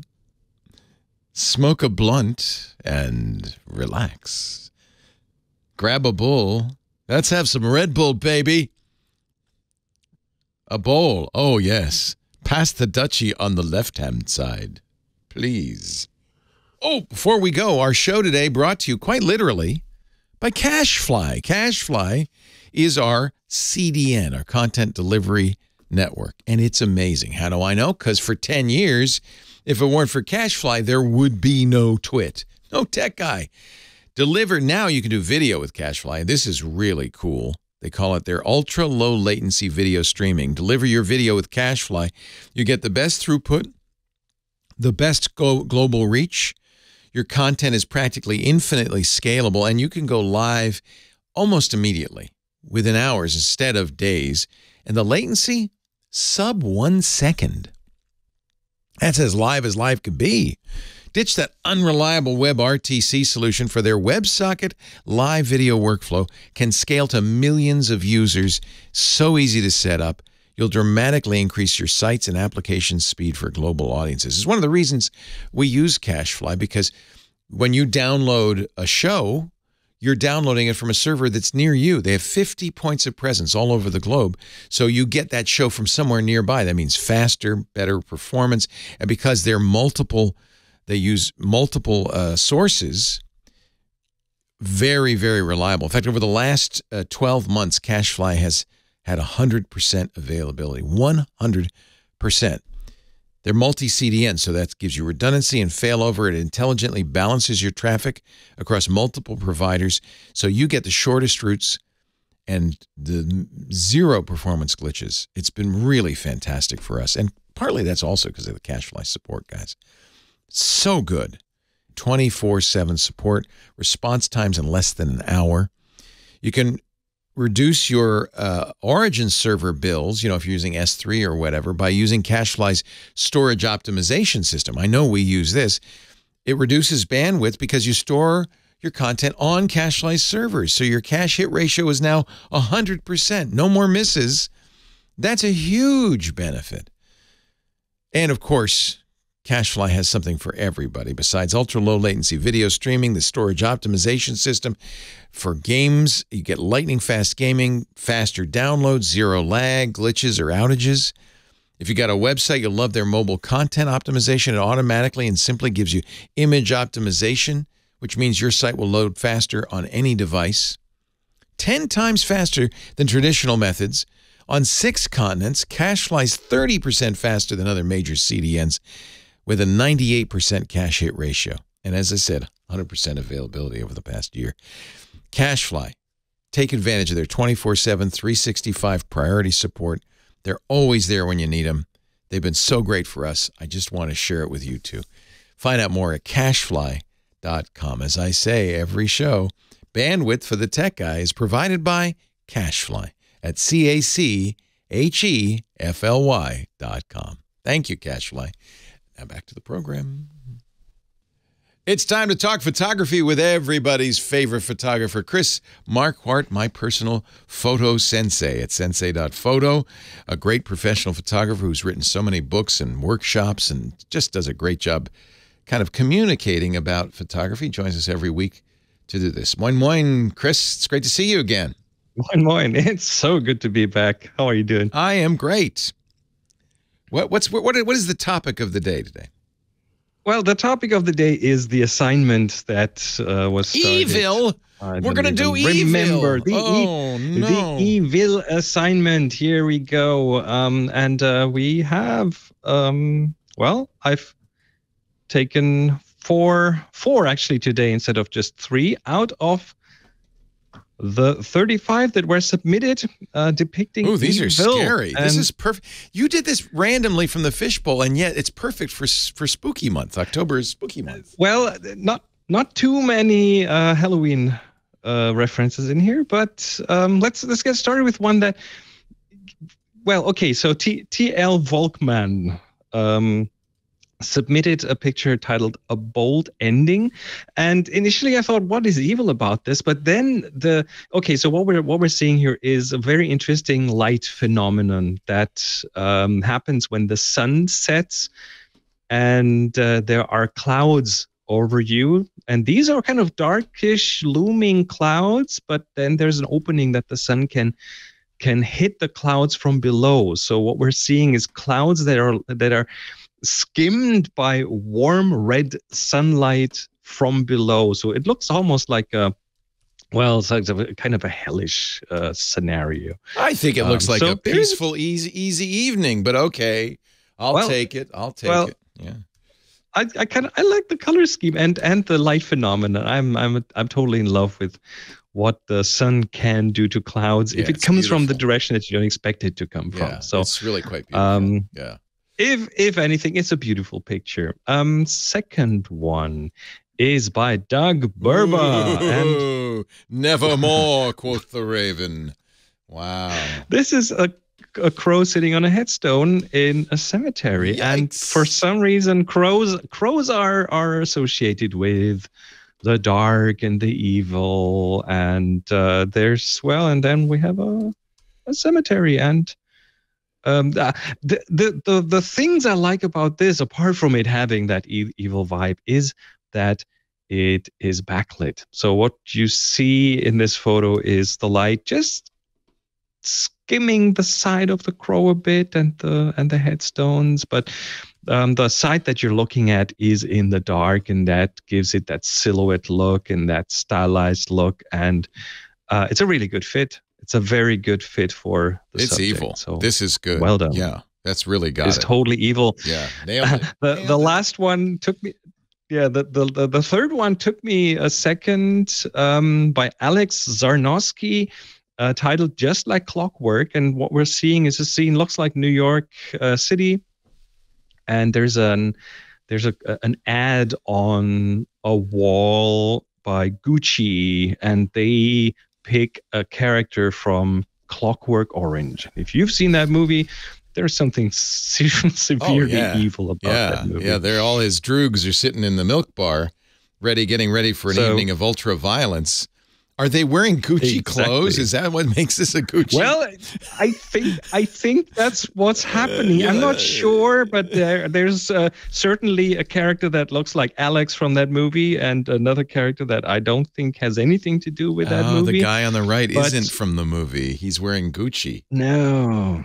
How interesting! So what an but interesting. they are both holding a glass of milk and the, the right hat and the right like makeup, and so there, yeah, there's that's there's something evil about this. The Would this ad have, or uh, using that as an ad. Would, would this have been better if he'd zoomed, come in a little more, walked a little closer? I don't, because you can't really see the Well, center uh, of attention. Well, yes and no. I mean, it is it is very much in the middle, and it of course also sets the whole uh, the scene by including context. I, I typically like photos with context, and in that in our context of evil, it, it does make sense to have this um, to have this a bit a wider shot because yeah, Yeah, because you want to see the street scene and all that. It's a street photography. I I've chosen one bonus photo by Rex Bowlby, um, which uh, he he gets extra points, extra bonus points for effort because um, what Rex did is he has. Um, he set up uh, four four screens in front of his himself It's very funny. Quotes with headlines with with subjects from spam mails and one screen saying spam is evil and it has the usual i'm a nigerian prince with a special request and the buy viagra five cents a pill and Those are ransomware evil. and uh, I agree with him 100%. I must, and then he put himself in the photo. So this is like there. He put some real effort into this, and uh, that gets uh, that gets a bonus point for sure. So spam is evil. I think we can all agree. So, So- uh, we have uh, from Scooter. X, uh, one of our chat mods in our Discord, uh, the explanation of that Gucci ad. Uh, Gucci has been doing shots from scary movies in their ad Oh. campaign, including one from The Shining. Uh, a st- uh, actually, it's all Stanley Kubrick. That's what it is. That's what's in common. Ah, 2001, A Space Odyssey, Clockwork Orange, and Eyes Wide Shut. All Stan- Stanley Kubrick movies with uh, Fashion Week 2022 uh, outfits added. I see. That just gets now it makes a lot more sense. Yeah, I It don't makes know. a lot more I don't know if it's uh, if it makes well if it makes sense to you. I guess it, it's fashion. What are you going to say? High fashion is a little strange. Well, fashion doesn't only makes limited sense to me, but I know Stanley Kubrick and his movies. So I love Stanley Kubrick movies. That's where that's where it comes together. Yeah, yeah. So this assignment thing we do uh, on a monthly basis. Chris comes up with uh, a topic. He's got his big fishbowl there, ready to pull an adjective out of the fishbowl, and it's just an incentive to get you out there taking pictures. Doesn't matter if you do it with a fancy camera or a camera phone, but you want to illustrate a word or concept. What pick pick the word out there, Mister. I think the, evil was really interesting. That that's has that's the one you came up with for. Halloween. Oh, this one this one's a good one. Oh, this one's a good one. We yes. have mysterious. Ooh, even even another Halloween. That's a nice fit for this month. Yes. Yeah. Hmm. Mysterious. So how does There this work? go. Well, you go out and take pictures. That's really how it works. The whole point of the uh, exercise. Uh, when you find one that really says mysterious to you, you know, really expresses that, uh, upload it to Flickr.com. It's a free photo sharing site we use and love. Uh, we're both pro members, but you don't have to be to participate. And then submit it to the Tech Guy group. Make sure you tag it TG Mysterious. TG for Tech Guy and Mysterious for the subject. That way, our moderator, Marine Silverman, will know that you mean this for our, uh, our assignment. And one month hence, we'll give you about four weeks, right around November, early November. Chris will uh, pick a few to talk about on the radio so you'll get a little notoriety, but that's all. That's your only reward. Your reward is going out and taking pictures, right? Absolutely. Absolutely. How come now? I don't participate often. Occasionally, I'll upload a picture because I don't want to. You know, I know I have an in with the judge, but uh, and you don't participate. Just, I mean, do you think like behind the scenes? I'm going to take some mysterious picture. I do that. I'm going to take some pictures. But I, I yeah, of course, of course. It, it sets it sets a mood. It sets it sets the it sets the feeling of going into photography, and it makes it a bit more of a deliberate thing to take pictures. I love mysterious because that could be a lot of things. And I love the idea of creating a composition with some mystery in it. That's going to be interesting.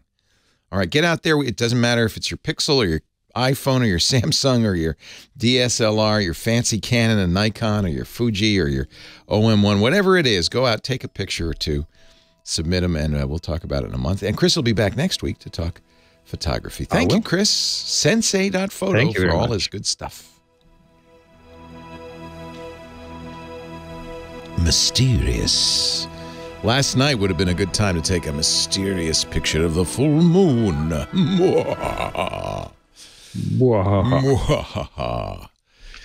All right, sir. All right. Thank you so very, and uh, we'll see you uh, next week, unless you know you want to go visit the folks there. or whatever. You know, No. go. I'll, I'll, I'll, I've, had, I've, I've had my vacation. Unless I've you're in the mood to visit Svalbard, you know, go ahead. When are you doing? no. I'm telling you, the one I really want to do is Bhutan. That is still in somewhere in the in in the discussion, but It's I do not I'm have sure. a date. Yeah, it's It is. It complicated. is very complicated right yeah. now. Well, It's just very just count on me when you're going to Bhutan. Lisa and I'll join you. Well, I'll be I'll be doing the Eastern European photo road trip next year. Yeah, that might be fun. So it might be fun. That is that is going to be fun. Small Eastern small Europe, group, a little a little risky right now, but okay, it might be fun. Eh, you, you know, it, you, you could you could.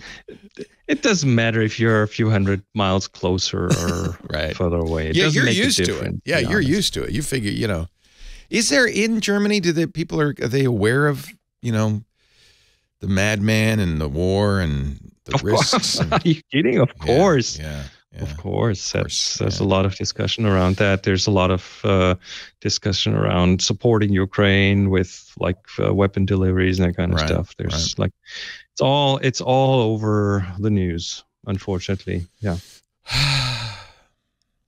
All right, Chris. Stay safe. it is what it is right now. Yep. Build that uh, bomb shelter, and uh, we'll talk to you next week. Will do. See you then. See ya. Bye bye. Bye now.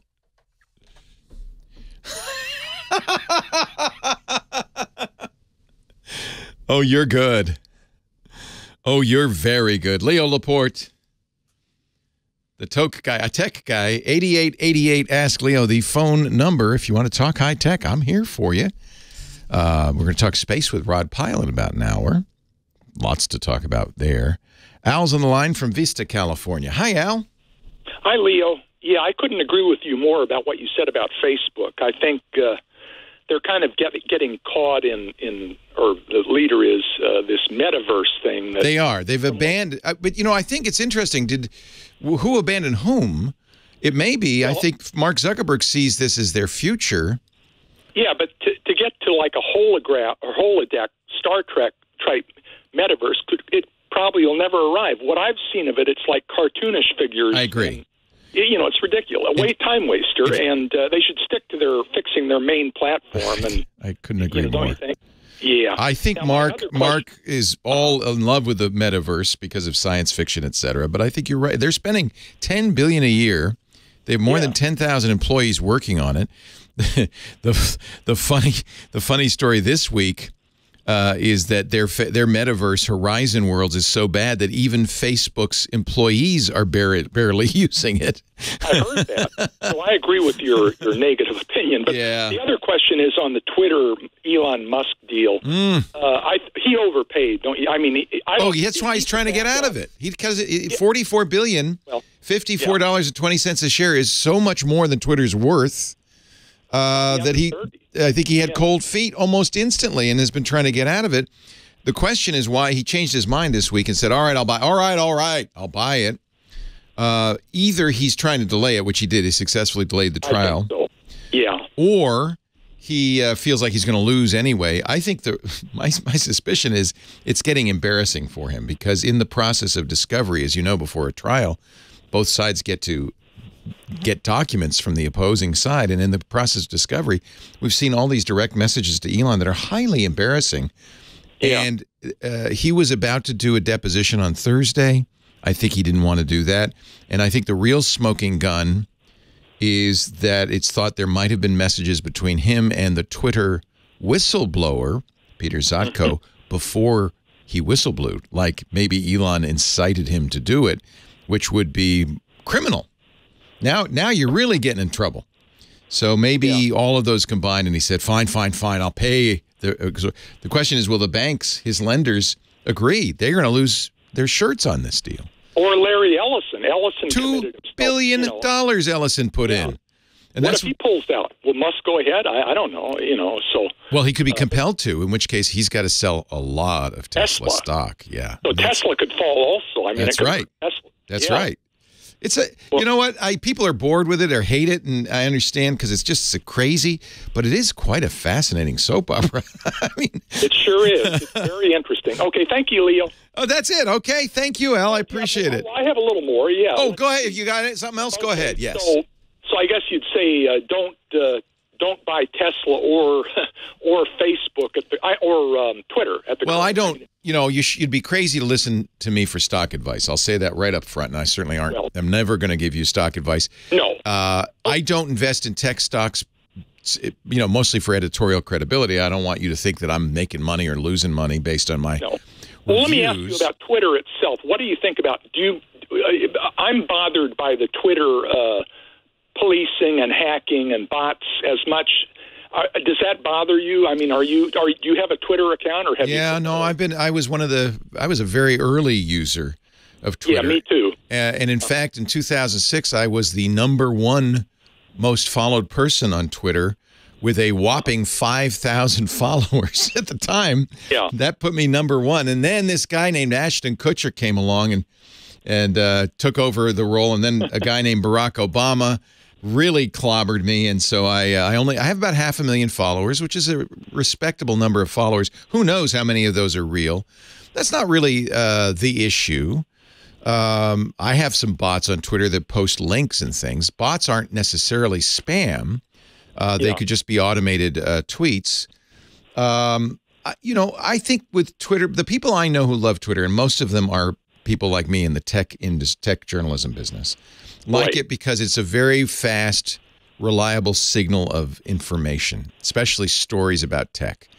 Uh, and you create your own Twitter by following who you follow, right? So you don't have to see something you don't want to see uh, if you follow somebody that's interesting. But at the same time, Twitter has been a platform for a lot of negative uh, things, and uh, uh, you know, so because it is open and it's very easy to create an account, it's very difficult to control the content on Twitter. So there's all Yeah, sorts of junk on there as well. Plus, they have difficulty in monetizing the content. I mean, you know, that, that's the problem. They, Well, they here- been able to. As I said, I don't give stock advice, but I would tell you this. The reason there's some interest in Elon and what he might be doing with Twitter is because he may have a vision for where Twitter could go that exceeds what current management. Current management has struggled for years to make any money on it, to grow it. It's just been failing. It's just been what it is for years. But he has this notion, which he's already tweeted about, of taking Twitter as the beginning, the backbone for what he calls the everything app. In China, they have an app called WeChat, which is Right. used for everything from buying train tickets to getting the news. It's it is you live in WeChat. I'm, I hear if you're in China. Can such an app exist in the U.S.? There's lots of reasons to think it might not, but remember, investors are looking for the next big thing. So if an investor, how is Uber getting money from investors? They've never made money. They've lost hundreds of millions of dollars every year because people think, well, it's possible that they have a glimmer of an idea about how the future is going to be. And we're going to take a chance. And a lot of these big investors, venture capitalists and stuff, know they're going to lose money on nine out of 10 investments. They're looking for one big hit. So they may he may be able to raise money against this notion of turning Twitter into the everything app. If he succeeds, billions. It's worth 10 times what it's selling for. If he fails, well, you're really kind of no worse off than you are today, which well, is we'll see if the financing comes through. That, that it's up and you know. It, yeah. it- No, that's it. There's a lot of questions. I think that his he was getting the sense that the Delaware court was going to rule against him and force him to buy it. And so he said, I'd rather do this on my own terms and not have all this stuff exposed. And so he said, All right, all right, all right. But you well, know, I, I think what he's hoping is maybe Twitter will come back and say, "Okay, we'll sell for forty or 30 no, no. Twitter said you have a deal. We want forty-four Yeah. billion, and Yeah, and we'll Elon see. said, okay, I'll uh, I'll do the deal. And uh, so now we're just waiting to see. You know, they have there's still still some negotiation that has to happen. We're Final waiting. comment: This everything app that he's thinking about, um, you know, he'll have competitors. I'm sure uh, Facebook will try to get in on an everything app, and some of the other. You know, he's not. It wouldn't be only him that would be trying that. There already have been many attempts. Well, they have. Yeah, that's what Facebook wanted to do with Messenger. That's why they added payments. Apple has definitely hinted that that's the kind of thing they'd like to do with messages. Google probably too. It's okay, thank you, Leo. You're welcome. It's a different world than China. Uh, obviously, I don't think I need to tell you that. Uh, most people agree that the market conditions that made WeChat so successful in China do not exist in the United States. And the notion of creating an everything app, you know, and the thing is, we don't, what we don't really ever know is what's going on in his head, right? We know it's kind of a tossed salad in there, but we don't, we don't really know. Is he playing 12 dimensional chess or is he just, you know, losing his marbles? It's unclear. And I'll give you a scenario. It's possible he knows perfectly well that Twitter is a money loser, that the only way he's going to be able to get the money, short of him selling stock, which he really doesn't want to do, is to convince people, whether he believes it or not, that he can turn it into a moneymaker. He's been saying this all along. I know how to make Twitter uh, financially successful. And yeah, he has a track record, right? So he may, in his heart of hearts, say, yeah, this is ridiculous. But if he can convince, this is how it works, enough people to give him money, hey, he's golden. Leo Laporte, the tech guy. Well, hey, hey, hey, how are you today? Leo Laporte here.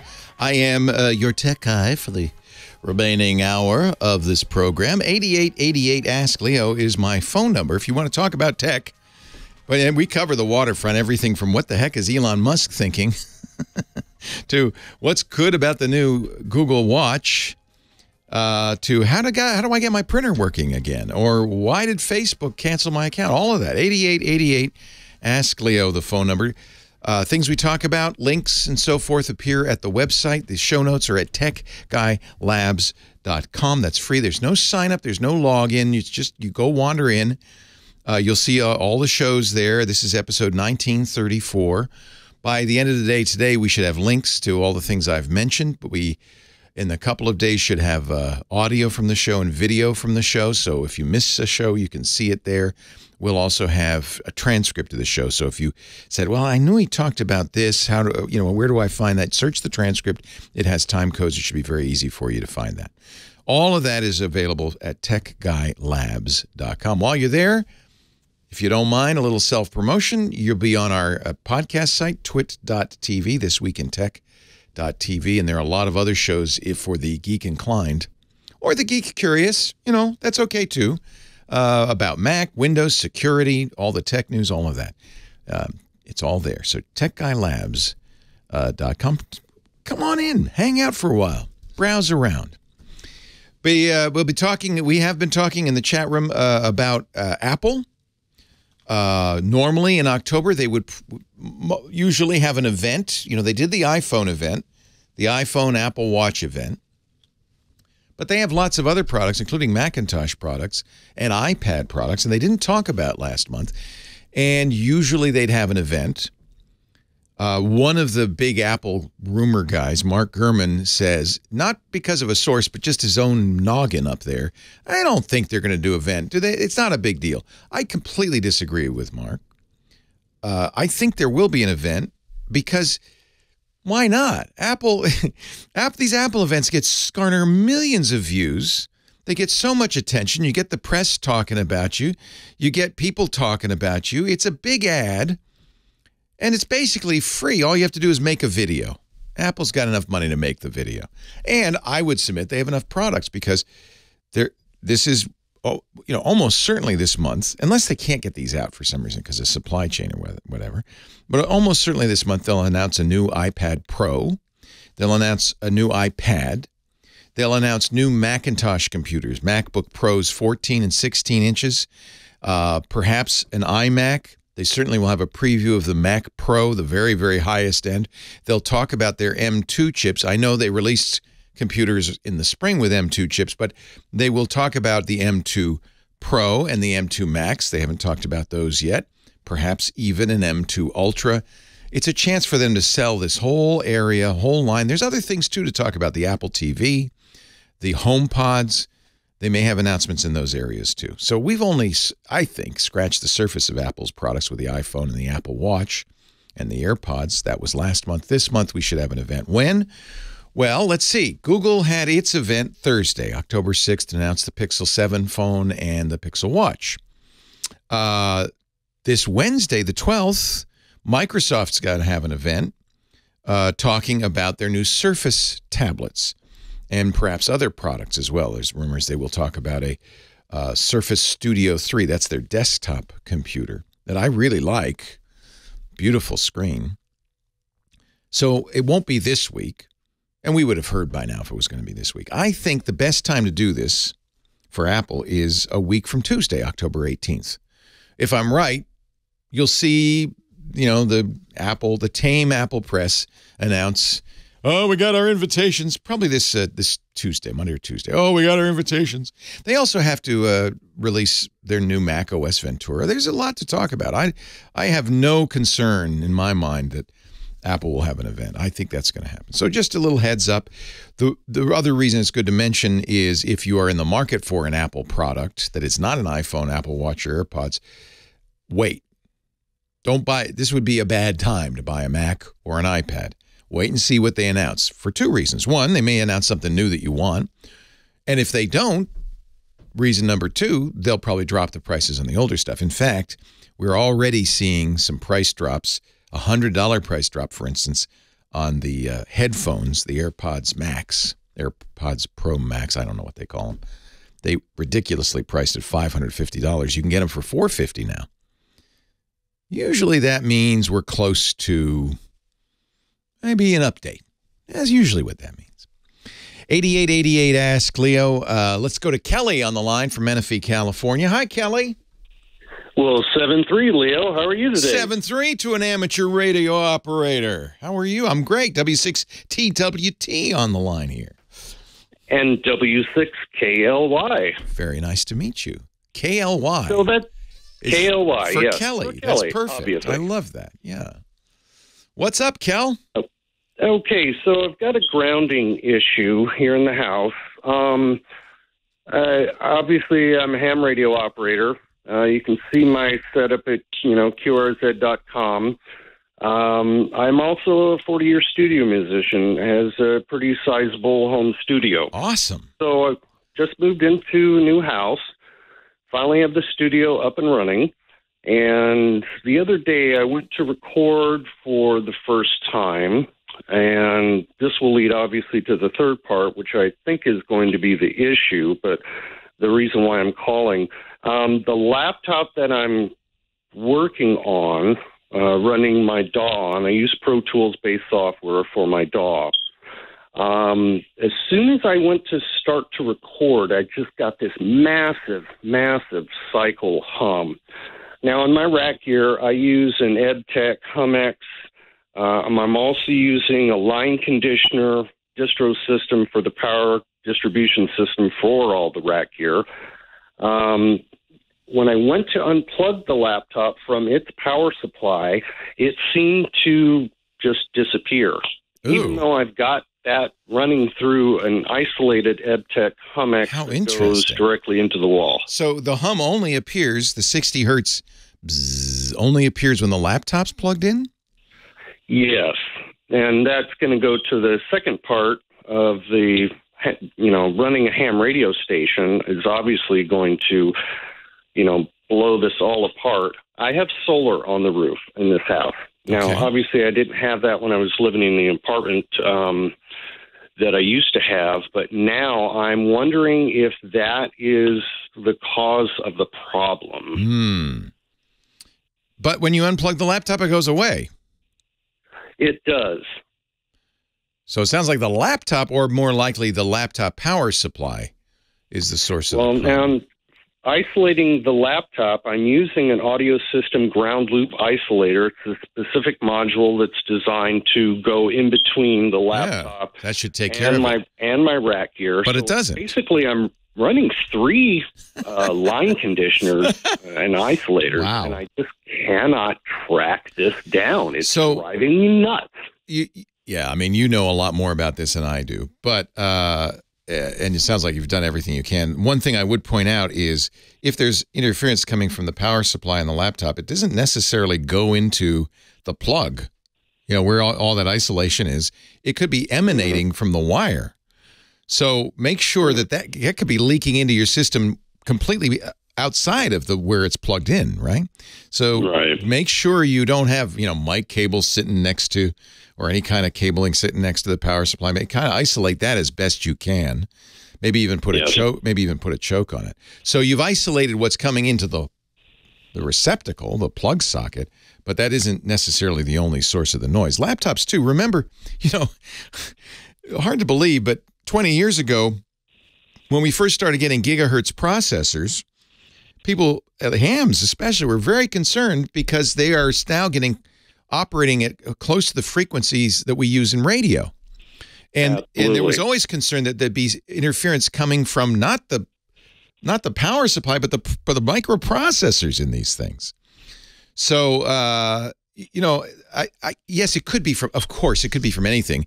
And those, as you know, those solar panels. We have sixty on our house, and they come into a big inverter and a big box. And of course, there, there could be a ton of interference coming out of that. So Right. I, I wouldn't rule that out. Sounds like you've done a lot of the the things, but uh, you know, it could uh, it could it could very well be just weird emanations from the the brick, the power brick, and that, that aren't getting. Yeah, it's got to be something because uh, when I'm running the guitar gear, I've got you know massive amounts of stage pedals that I that I use with the guitar. Um, I don't get that from any of that. I don't get that from the electronic mesh V drums. I don't get it from the bass rig. I don't get it using vocals, the keyboards. It's just weird that it just seems to be the laptop. Now that buzz is coming across in the recording Yeah, how annoying. Ugh. and especially when you you know when you're doing studio work, everything is in headphones. Uh, I you know I've got a 5,000 watt home PA for for doing final mix backs, but inside of the headphones, um, the slightest amount of buzz or cycling, um, you know, it rings through and it takes up space. You know, when you're recording, you're always looking for space in the speaker. Yeah, yeah. Everything has its own. You want it to be airy and open. You don't want exactly, and this thing is coming right dead center, and I just how annoying. knock it out. Oh, so annoying. Uh, yeah, I mean, I'm not I'm not an expert on this stuff. Uh, you know, if you have a this is where a good electrician will be a useful thing. Um, I would, you know, the fact that every time you unplug the laptop, it goes away. You know what it is. You know what it is. So uh, I would suggest. Does the laptop on battery give you that uh, interference if it's not plugged into the wall? No, it no, it does not. But obviously, the you know running on battery is you know. No, you don't want to do that. But I'm uh, running into the DAW with. No, I understand, but it isolates two hours. It isolates the noise. It's not coming from the laptop. It's coming from the power supply. That little. It's coming from the power supply. That brick. Yeah. So maybe even just try another one. Now that's one of the great things nowadays. Thanks to the EU, I was ripping on the EU for their cookie regulation, but I do. I am glad the EU has decided that everything should be charged by USB-C. Used to be every laptop had its own proprietary charging. Now they're all USB-C. So get a new, you know, get a better USB-C brick. In fact, I would look at some of the GaN, the gallium nitride uh, bricks coming from companies like Anker that give you, you know, a lot of wattage for in a very small package. They may also, because they are gallium nitride, not off, not have the same kinds of problems. Uh, so you can get now get a Type C uh, charger. That just try another one, and it's a good thing to have anyway. So uh, I, that's that's all I can. I, I'm the wrong guy to ask on this stuff. This RF, as you know, as a, every ham knows, RF is voodoo. It is. Yes, it is. It's voodoo. It's a it's a mystery science, and uh, and noise can come in. I'm amazed actually that you own that you have such a nice clear sound. You've done everything you can, except when you're plugging in this laptop. That sounds pretty good. That sounds pretty good. You're doing a great. You're doing a great job. What kind of music do you play? Uh, I do classic rock, country, worship music. Nice. Been playing Nice. since 1980. Wow. Still plugging along. I'll, I'll be playing in a wheelchair as they wheeling me off to the grave. You know, uh, we saw Motley Crue uh, the other day, and it was so great to see 71 years old. He's got ankylosing sp- spondylitis. Uh, uh, their uh, their lead guitarist Nicky Mars playing. He can barely move, but his fingers are as nimble as ever. He still lays down an amazing guitar riff. It was inspiring to see him. Uh, and that's exactly how you want to go, right?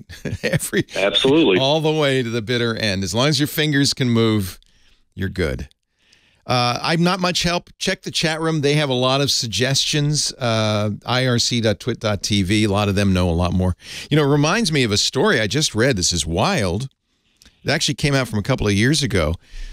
But the buzz of electrical current in the power circuitry is often, it's barely audible or inaudible, but it is often present if you know where to look in videos. And apparently, I did not know this, but for 10 years, the UK government has been using, and it's, by the way, it's not consistent. It goes up and down, right? The frequency is not perfect.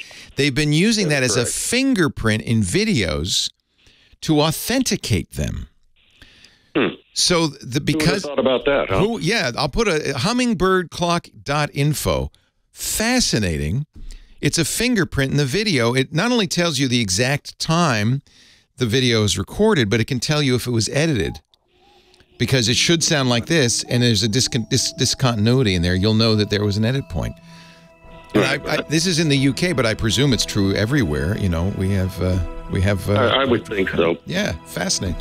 I'm sorry, I'm not more of a, of a help for you. I'm glad you listened, Kelly. Keep listening. Maybe somebody will come along with some good ideas. If I were you, I'd get a new power group. Leo Laporte, the tech guy. Wasn't there a Tom Scott uh, sax player? I think there was. Hello, Rod Pyle. Hey there. How are you? I'm very well. How are you? I'm very good, thank you. Would you like to talk about Falcon and the Dragon crew? Uh, actually, uh, although that's interesting, I've got a couple other stories that are kind of. You know why I care? You know why I care? Because why? Because it's the first, not only the first Native American in space, Yes. but she's a Petaluma native. Yes, flatback, right? She comes, yeah, flatback. It means flatback, not her. right. That's what Petaluma means.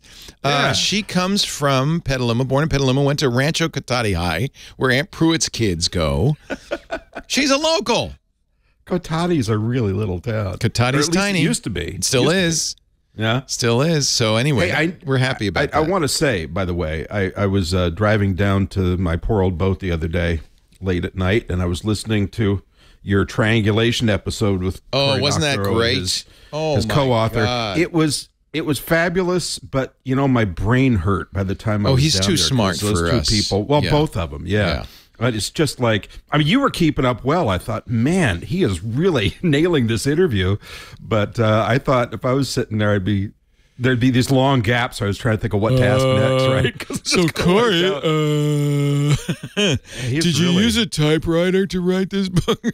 well, and to be able to write nonfiction and fiction, He's brilliant. As, as He's one of the smartest people I've ever met. And Yeah, yeah. particular ability to synthesize complex ideas, uh, to understand them deeply, and then Yes. even more impressive to communicate them. Uh, that's a rare and very valuable ability. I just love. Well, and his analogies are so Oh, great. he's brilliant. He's just, I You mean, know? he's really, truly uh, one of the. There are not a whole lot of people I meet that I go, wow, that's a genius. And he's one of them. He's Yeah. amazing. He's amazing. Well, I'm still working on it. I figure I got about another twenty. You know, I had an advantage because I read the book, and that so I, Yeah. uh, you know, I thank God I read the book. I actually, if I hadn't, I would have been uh, in deep trouble. Uh oh, is that a fumble? Oh, hey, oh, hey, hey, hey, sorry. I thought that's what you were I'm not paying attention to anything. If I jump up and scream, Not a problem. oh yeah, they're giving it to Carolina. Oh well. Oh well. That would be football, correct? That's the skinny brown one. It's uh yes, it's uh we call sometimes we call it hand egg. it's sport ball. Yeah, Amy Amy Webb, another genius. Yeah, I'm very I try to get geniuses on the show, but the problem is that sometimes they're so smart um, that everybody else just kind of sits there open mouthed. You know, you have to have a the the Yeah. the panel has to be balanced so that everybody feels like they can contribute. And when uh, you know Cory was on this weekend, I had Alex Kantrowitz on with him on Twit, and uh, Alex, I had Alex on because I knew he was a good counter foil to uh, Cory, and he really held his own, which is damn impressive, damn impressive. Yeah. So, yeah, I know Well, what you mean. and- oh, And, and as you pointed out when we started talking about this, you know, not everybody at that level of intelligence can communicate.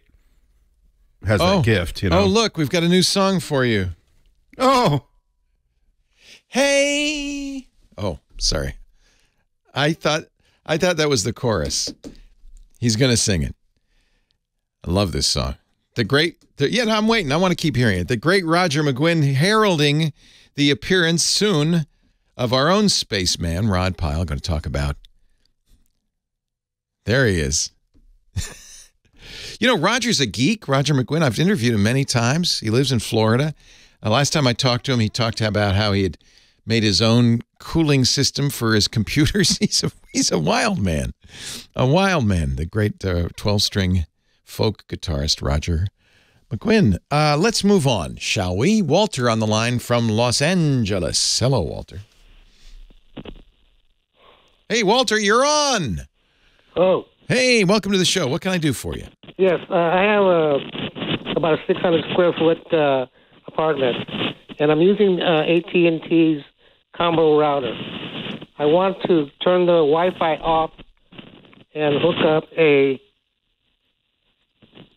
Netgear Wi-Fi 6 model AX1800 Okay. router. So this is often the case, you know, your ISP, and it, most people just say, okay, fine.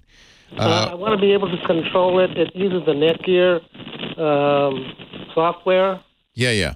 So is uh, you said AT and T? Is it fiber? Is it DSL? How are you connected? Do you know? It says DSL. DSL. Okay, so it's a phone line that's giving you your internet access. So for that, AT and T provides you with an interface that takes the signal from the phone line, decodes it, and turns it into a network interface.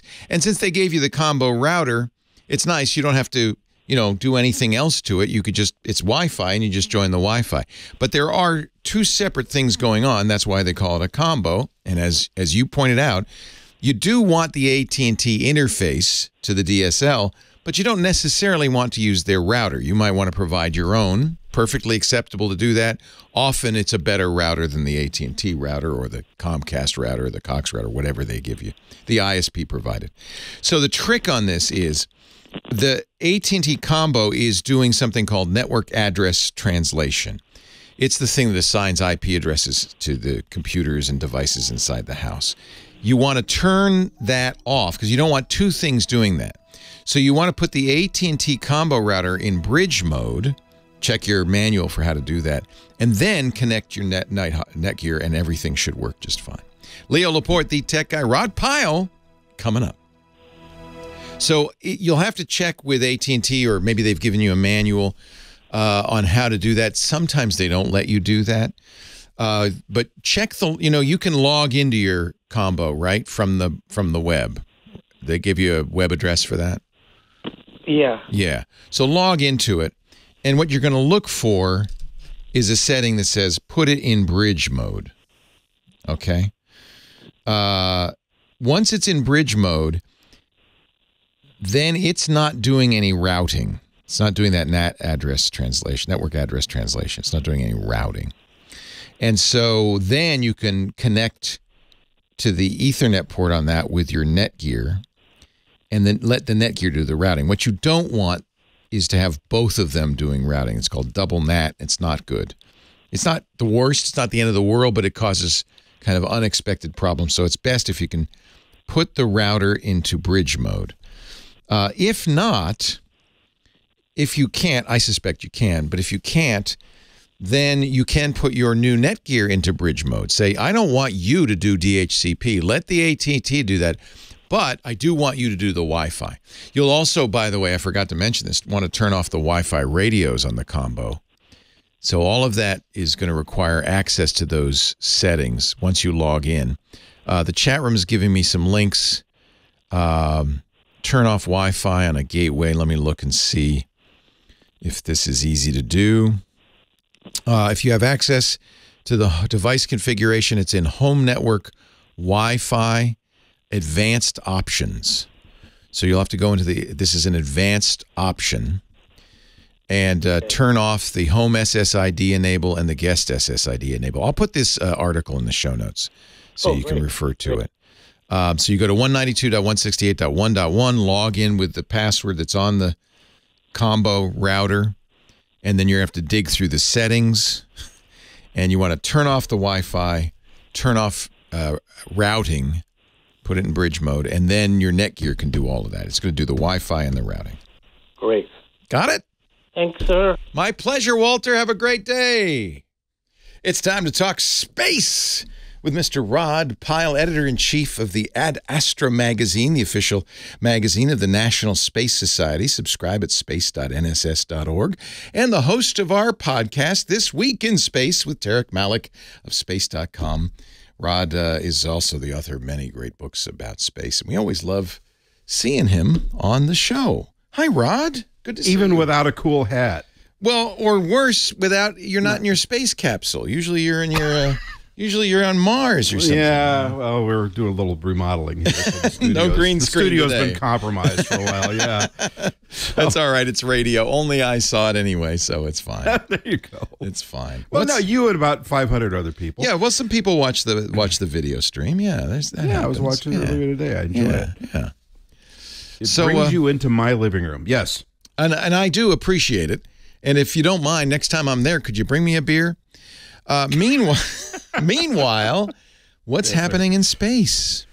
Well, as you pointed out, we just had a SpaceX launch a Crew 5 on October 5th. I was very proud for- because uh, yes, it was an interesting crew. It had one person from Japan, one person from Russia, and That two from big deal. America. And the commander of the Dragon Crew Five was a woman uh, from Petaluma, our little town here. Nicole Aunapu Mann. Also, the first Native. American uh, in space. So that's really cool. And a Stanford graduate. Well, okay, if you want to Represent. I think there are a few You know? Stanford graduates who've been to space. I would guess. I know, but I'm still waiting. Anyway, she she and the crew are on the space station right now. Is that right? Yeah, yeah, and they're there for about that. That craft will rotate for five months. I assume they're all staying that long, but uh, they do sometimes stagger the returns. I have to Uh, say, one of the uh, you know, uh, for all Yeah. the fun we make of Elon and for all the nuttiness he adds to our lives, that SpaceX is pretty amazing. I Oh. mean, to watch that launch go flawlessly after Artemis couldn't even, Yeah. you know, get to countdown, uh, and then to watch the first stage booster fly itself autonomously Yeah. back to Earth and land perfectly on that barge. And, and then everything just goes flawlessly, and it makes you forget how hard this is. He's Well, so and good. and and he makes it look easy. And this was after decades of the big aerospace companies trying to do similar things and not making the cut. So when you you- you're right when you especially when the Falcon Heavy launched in 2018, when those two side boosters touched down at the same time. Wasn't that mind-boggling? I of course the internet lights up. It's fake. It's all fake. Oh, you know, it's like no, sorry, it's real. And now, so this booster uh, was another. Uh, uh, sorry, not this booster. The one that launched the other day. Another 14 flight veteran. So he's just pushing every engineering limit there is on every front. And Yeah. if Starship works, man, we are there. So one other thing that's interesting about this mission, of course, is you touched. Well, there's two actually. One is. Russian cosmonauts, so we did make another seat trade in the middle of this hot war. it, this is the first time in, uh, that a Russian has launched from U.S. soil. Is that right? Uh, a shuttle. I think. Yeah, but, maybe in a shuttle, but okay. in a in a in, in this in this run of stuff, and certainly in a private spacecraft. Yeah. and also two of these astronauts, or sorry, three of the astronauts were reassigned from the Boeing Starliner, which still isn't rated for crew yet. Wow. So you know that's not a happy fact, but there you go. Uh, another news item: Goodbye, Mom. India's uh, Mars orbiting mission, or MOM, Ran out of gas. dark. Ran well, out of gas. maybe. Oh. You know that they made that announcement. The ISRO, Indian Space Research Organization, said it wasn't working. That was one reason that popped up. They on, on the internet. They did not say exactly what had gone wrong till a little later. They made some suggestions.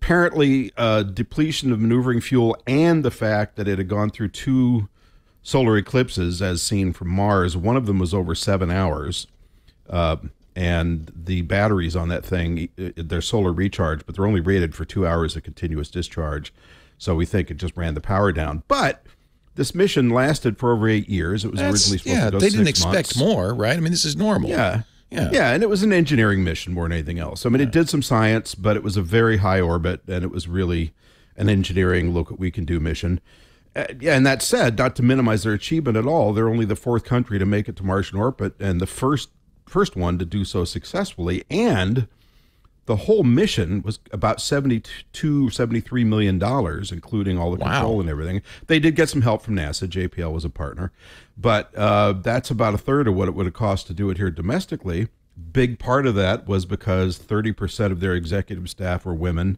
and a larger percentage as i recall of the technical staff the actual people that built and configured the thing were women and they work very long hours and you know like a lot of other places get paid less than men so you know it's a great triumph that so many women were involved now you just got to crank up their pay I, I just think it's uh, you know space shouldn't be owned by any one country. It should be apolitical, and I just think it's great. I uh, yeah you know, and we could all cooperate with one another. Uh, even in this case, as as much as Russia has become a pariah state, even with Russia, as long as it's space, you know, it's not Yeah. it's not uh, warmongering. It's space. I think that you know it, we're all together on one planet. Let's yeah, not forget. and so something you know, the great white hope here might be uh, asteroid interdiction. So we know that we're in danger from an asteroid strike at some point. We just had the. I saw them say that there's a there's an test that. asteroid headed our way. Is that just a irresponsible? Yeah, there's always an asteroid Oh, headed our way. It- It's a matter of how big it is and how, how wide it's going to pass. Most of them pass well outside of uh, the moon's orbit. so was the not uh, was the DART mission where we we launched a satellite against a uh, a rock uh, successful uh, in their opinion? Did it move the rock? Well, technically it was successful. So it, it hit Well, I the saw it rock. There's crash. still- right, that was quite a quite a shot. but but did it Um, move the rock? Is the question? Well, they're still trying to figure it out. And as we got closer and closer to Dimorphos, which was that little 500 Mm-hmm. foot moonlet, it began looking like suspiciously like it was a rubble pile asteroid, not a solid rock. And Oh. rubble piles are exactly what It they sound certainly like. made They're a bunch of mess. gravel held by gravity. it Yeah. left a big trail, and there was a big. Ex- so maybe it was just a bunch of gravel that we blew Well, up. and and that brings up another point, which is you know one of the other things we have to learn besides how to move the big rocks is how to influence the trajectory of a rubble pile or a gravel asteroid. well, yeah, but even if- without just making it fly apart, because then you just got a b- Bunch- potentially a bunch of big little ones. parts. Yeah. littler but still dangerous, right? You don't So want. wanna You don't want. out- even if it's a gravel pile, you don't want it to hit us. No, Yeah. not listen. If it's really gravel, you know, if they're really the size of marbles or less, but if you've got really big rocks Chunks. together, that's Yeah. bad. So that's why. So this this approach, the direct impact kinetic impactor, would be for good for solid rocks. When you've got a rubble pile, if Then that's what what, you it do? turns out this was, you want to influence the trajectory of it indirectly. So they Oh. have what they call tractor influencing. Oh, you need a tractor beam. We just send the Enterprise with its tractor beam. No, no, No? no. You got a spacecraft big enough that it kind of over time drags it off course, or potentially uh, there's there's other interdictions you might be able to. But you have to be gentle. Engines to You have it. to nudge be it. very You can't gentle. hit it. Yeah. You have to be sweet and loving to it. yeah. So P. so Tuesday, NASA's going to have a press conference. We'll find out. Yeah, I yeah. guess how successful this was. We still don't. and I'll I'll for be sure. tuned in for sure. P. Didymos. And, I call uh, it P. Didymos in honor of uh, P. Diddy. The puff, Of course the you do. puffster, the Okay. puff daddy. Yeah. How much long? How much longer do we have? You got 54 seconds. Oh, hunting exoplanets. There's a site called Zootopia. So which cool. lets you join in citizen science along with uh, scientists working on the TESS program, which was a telescope that identified a majority of the 500, uh, Uh, 5,000 confirmed exoplanets we've seen. So a company that makes telescopes called Unistellar got together with Zootopia and NASA and said, let's let the citizens get involved. So if you go on zootopia.com, you can check it out. And you can join into the effort with your own telescope, assuming you have one that's large enough to work. Is that just, you know, pretending that citizen astronomy No. is real? No. No, it's actually been really helpful because there's so much data coming down from Oh, these good. probes that the Okay. NASA people don't have time to go through it So all. you really Yeah. can't help. You Rod can. Pyle, space.nss.org to subscribe Thank to you, sir. Ad Astra and join him on Twists every week. Leo Laporte, the tech guy. And right here, of course, every week. Of course. Of course. P. Didymos. P. Didymos. That's how I remember the name. Yeah, that's very good. P. Didymos. He's the mostest. Yeah, if you look at Zootopia, they've got probably, gosh, 20 or 30 different programs ranging from oceanography to Yes. Oh uh, yeah, we visited climate them. change. We've talked Yeah. about them before. Yeah, yeah, yeah. Yeah, yeah, yeah. And uh, they've done galaxy categorizations and looking at clouds on Mars and all kinds of cool stuff. So It's it- not you know, kind of zootopia.com because that says may the zoo be with you. I don't think that's zootopia.com. Oops. Oh, doggone it. I Doggone doggone one. it. It's, uh, yeah. it's Zootopia Science. Let me Google that. Zoo- No, it's not Zootopia. It's another. It isn't. That's a believe I did movie that. with a with the sloths in it and the DMV lady I'll moving. real- correct myself next week. I'm sorry. Zoolander. What is the name of it? Chat room. Help! Help! Chat room, help. Please stay Bluesteel.com. What is it? Zootopia. That's hysterical. I can't believe I I'll correct that. it if somebody gives me the real one. Let's see. Help NASA exoplanets. Uh, let me look this up. Zoo. Uh, maybe that'll. You know, it's all about. It's all about the uh, citizen science. Zooniverse. Zooniverse. There we go. Zootopia. Zoos- uh, If you'd done that to Bill Handel, he would have murdered you. Oh my God. Well, that's why I'm only on once a month now. you know, you never know what you're going to get with Bill either. You get on there, and, and usually, you know, he's he's especially with science, he's very forthcoming. He's generous. He's great. But some mornings, as I'm sure you know, you get the other Bill. right? Depends on his hemorrhoid situation. Is that it? No, I don't know. I, I haven't talked to Bill in a long time. I love Bill, but uh, he Yeah. he stopped having me on his show years ago. People Yeah. powered research. Welcome to the There it is. Zooniverse. Zooniverse. All right, I'll correct. I'll correct that when we get back. Thank you, thank you. I really appreciate that. Rod's been drinking That's a again. big difference. Day drinking again, Rod. I tell you. I don't drink anymore. I can't handle it. Teasing you. Neither do No, I. I you know, age. When I heard you say that, I thought, yeah, exactly. Age. One drink, and I'm just a stupid fool in the corner. and the next jokes. day, even if it's just one glass of wine, I feel like Yeah. crap. yeah. It used to be And I'd never get hangovers. I when I was a young guy, I thought hangovers. So nobody, what's that? They're making that up. Now it's like Doctor Mom Grandma said piles affecting piles. First one P I L E S meaning hemorrhoids. I can't believe that. Oh my god. Well, and the other thing about drinking is, and I'm sure you remember this from you know being in bars when you were younger. Although I'm following Lisa's social media, and it looks like you guys are out eating just about every night. we but- went we went to a caviar bar, but she I she I drink water. She drinks Yeah. champagne because I'm the designated driver. Yeah, I'm the designator, designated non. and by the non- way, I never yeah. post what I'm doing or where I've been, but I, I know. I have no privacy because Lisa outs me every time. But what is it about so many guys that when they drink they want to fight? Oh, I know. You know, I just get kind of Actually, sappy and maudlin. Lisa used to and, be like know. that. She'd get she'd get very pugnacious. Yeah. Actually, I guess I could Not anymore. that. Just say Not that. anymore. No, But she used Yeah. to. She used to when when I when we first met. She'd have a couple of drinks. She'd, she'd start hitting me.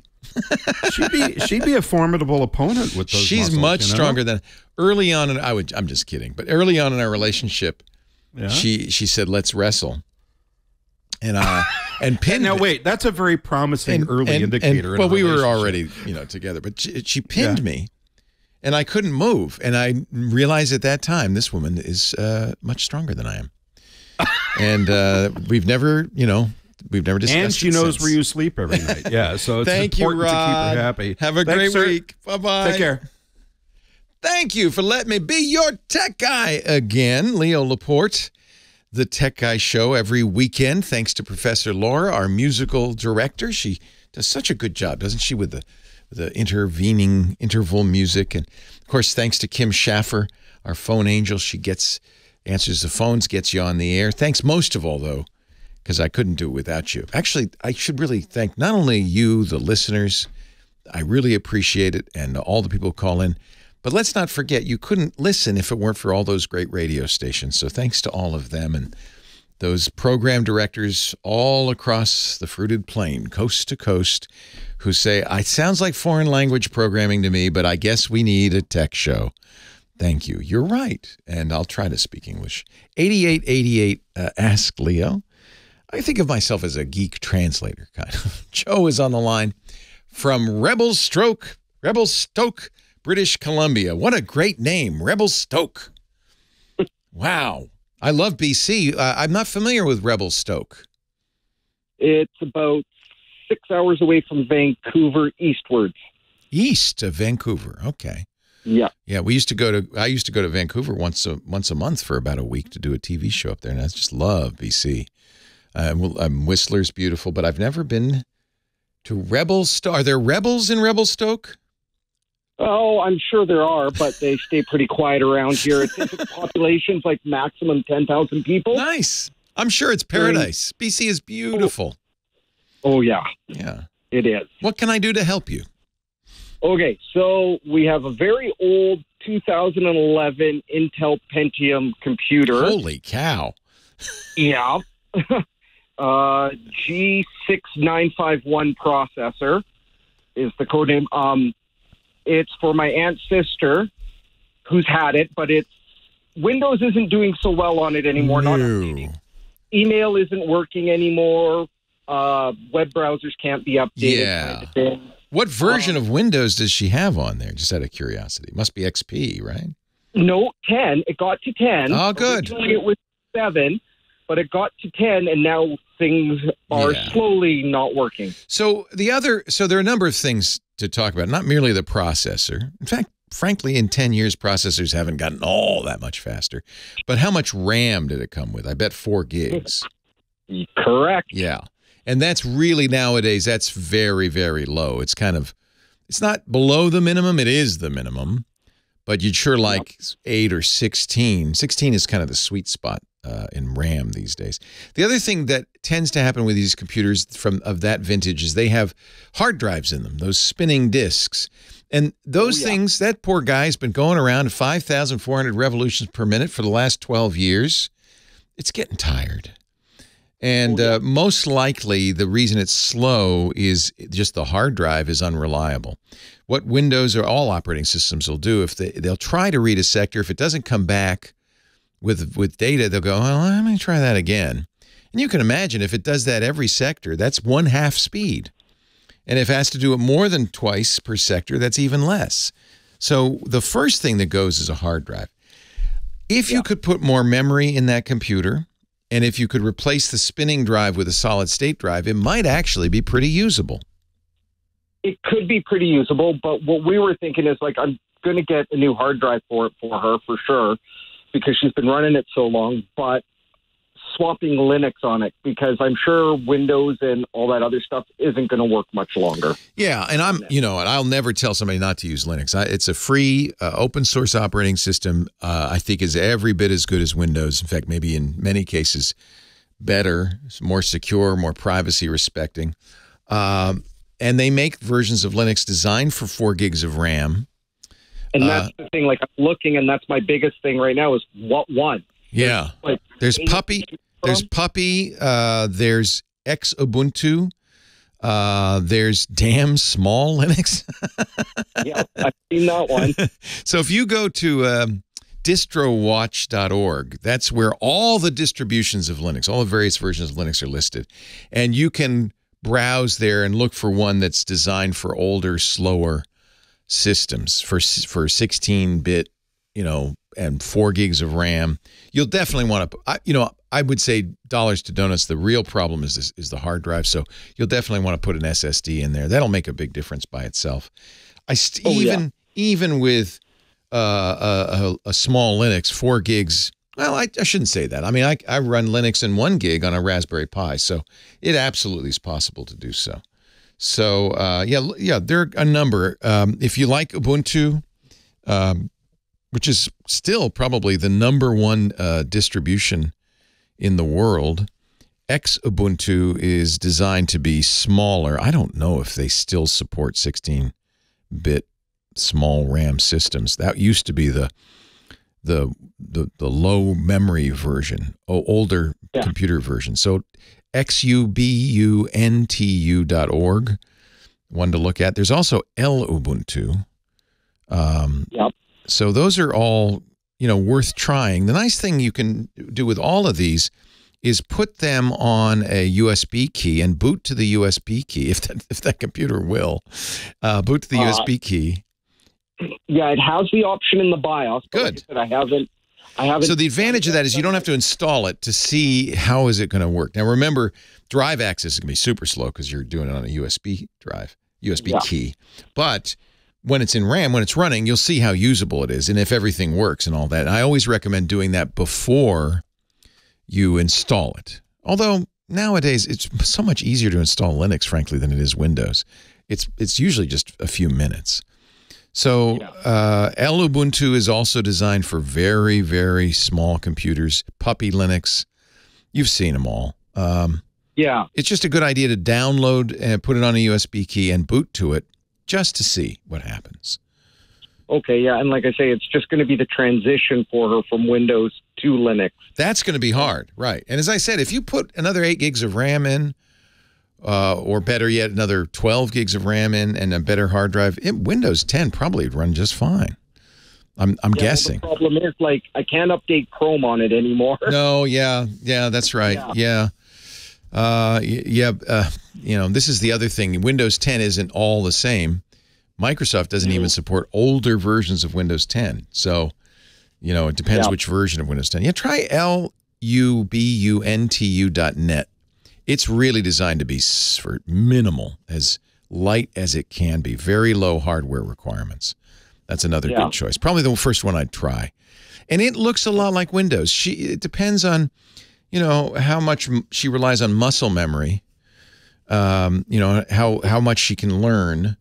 But honestly, Well- if you set it up right, I think Linux is a better operating system for uh, novices, believe it or not. Yeah, well, the other problem is the memory with her as well. She's uh, losing it a bit. So Yeah. make it as easy as possible for her. You know, if you if this doesn't work, get a Chromebook or an iPad. Oh no, my uh, my aunt, well, my uncle here has a Chromebook, so she's been using that for now. For for for most people, and I don't just mean older people like me, uh, but for most people, they live on the browser, and you know, as you said, if Chrome doesn't work, they can't use it. That's all a Chromebook is is the Chrome browser, Yeah. and it's more secure, more reliable, and it's simpler because it's just the browser. Same thing with an iPad. Older people, uh, my mom, eighty nine years old, loves her iPad, loves it. And she, you know, she's got a Mac. She, she's got everything. Of course, she's my mom, but she lives on that iPad. I think there's a lot to be said for these operating systems designed really just to get the work done and not, you know, not for enthusiasts. They're for people who just want to use a computer. Hey, a pleasure talking to you, Joe. Thank, I think it's great that you're helping out on that. That's fantastic. And I think it's great that you all listened and called and, and, and all of that. I really appreciate getting to spend some time with you every week. Well, I'll be, I'll be back next week. Um, maybe by then I'll be saying, "Hey, the Apple event's coming up." We'll see. I put it, I'm putting a bet on that. Uh, I bet you something. This uh, this fine dead hard drive. Apple will announce an event this week. Leo Laporte, the tech guy. Have a great geek week. I'll see you next time.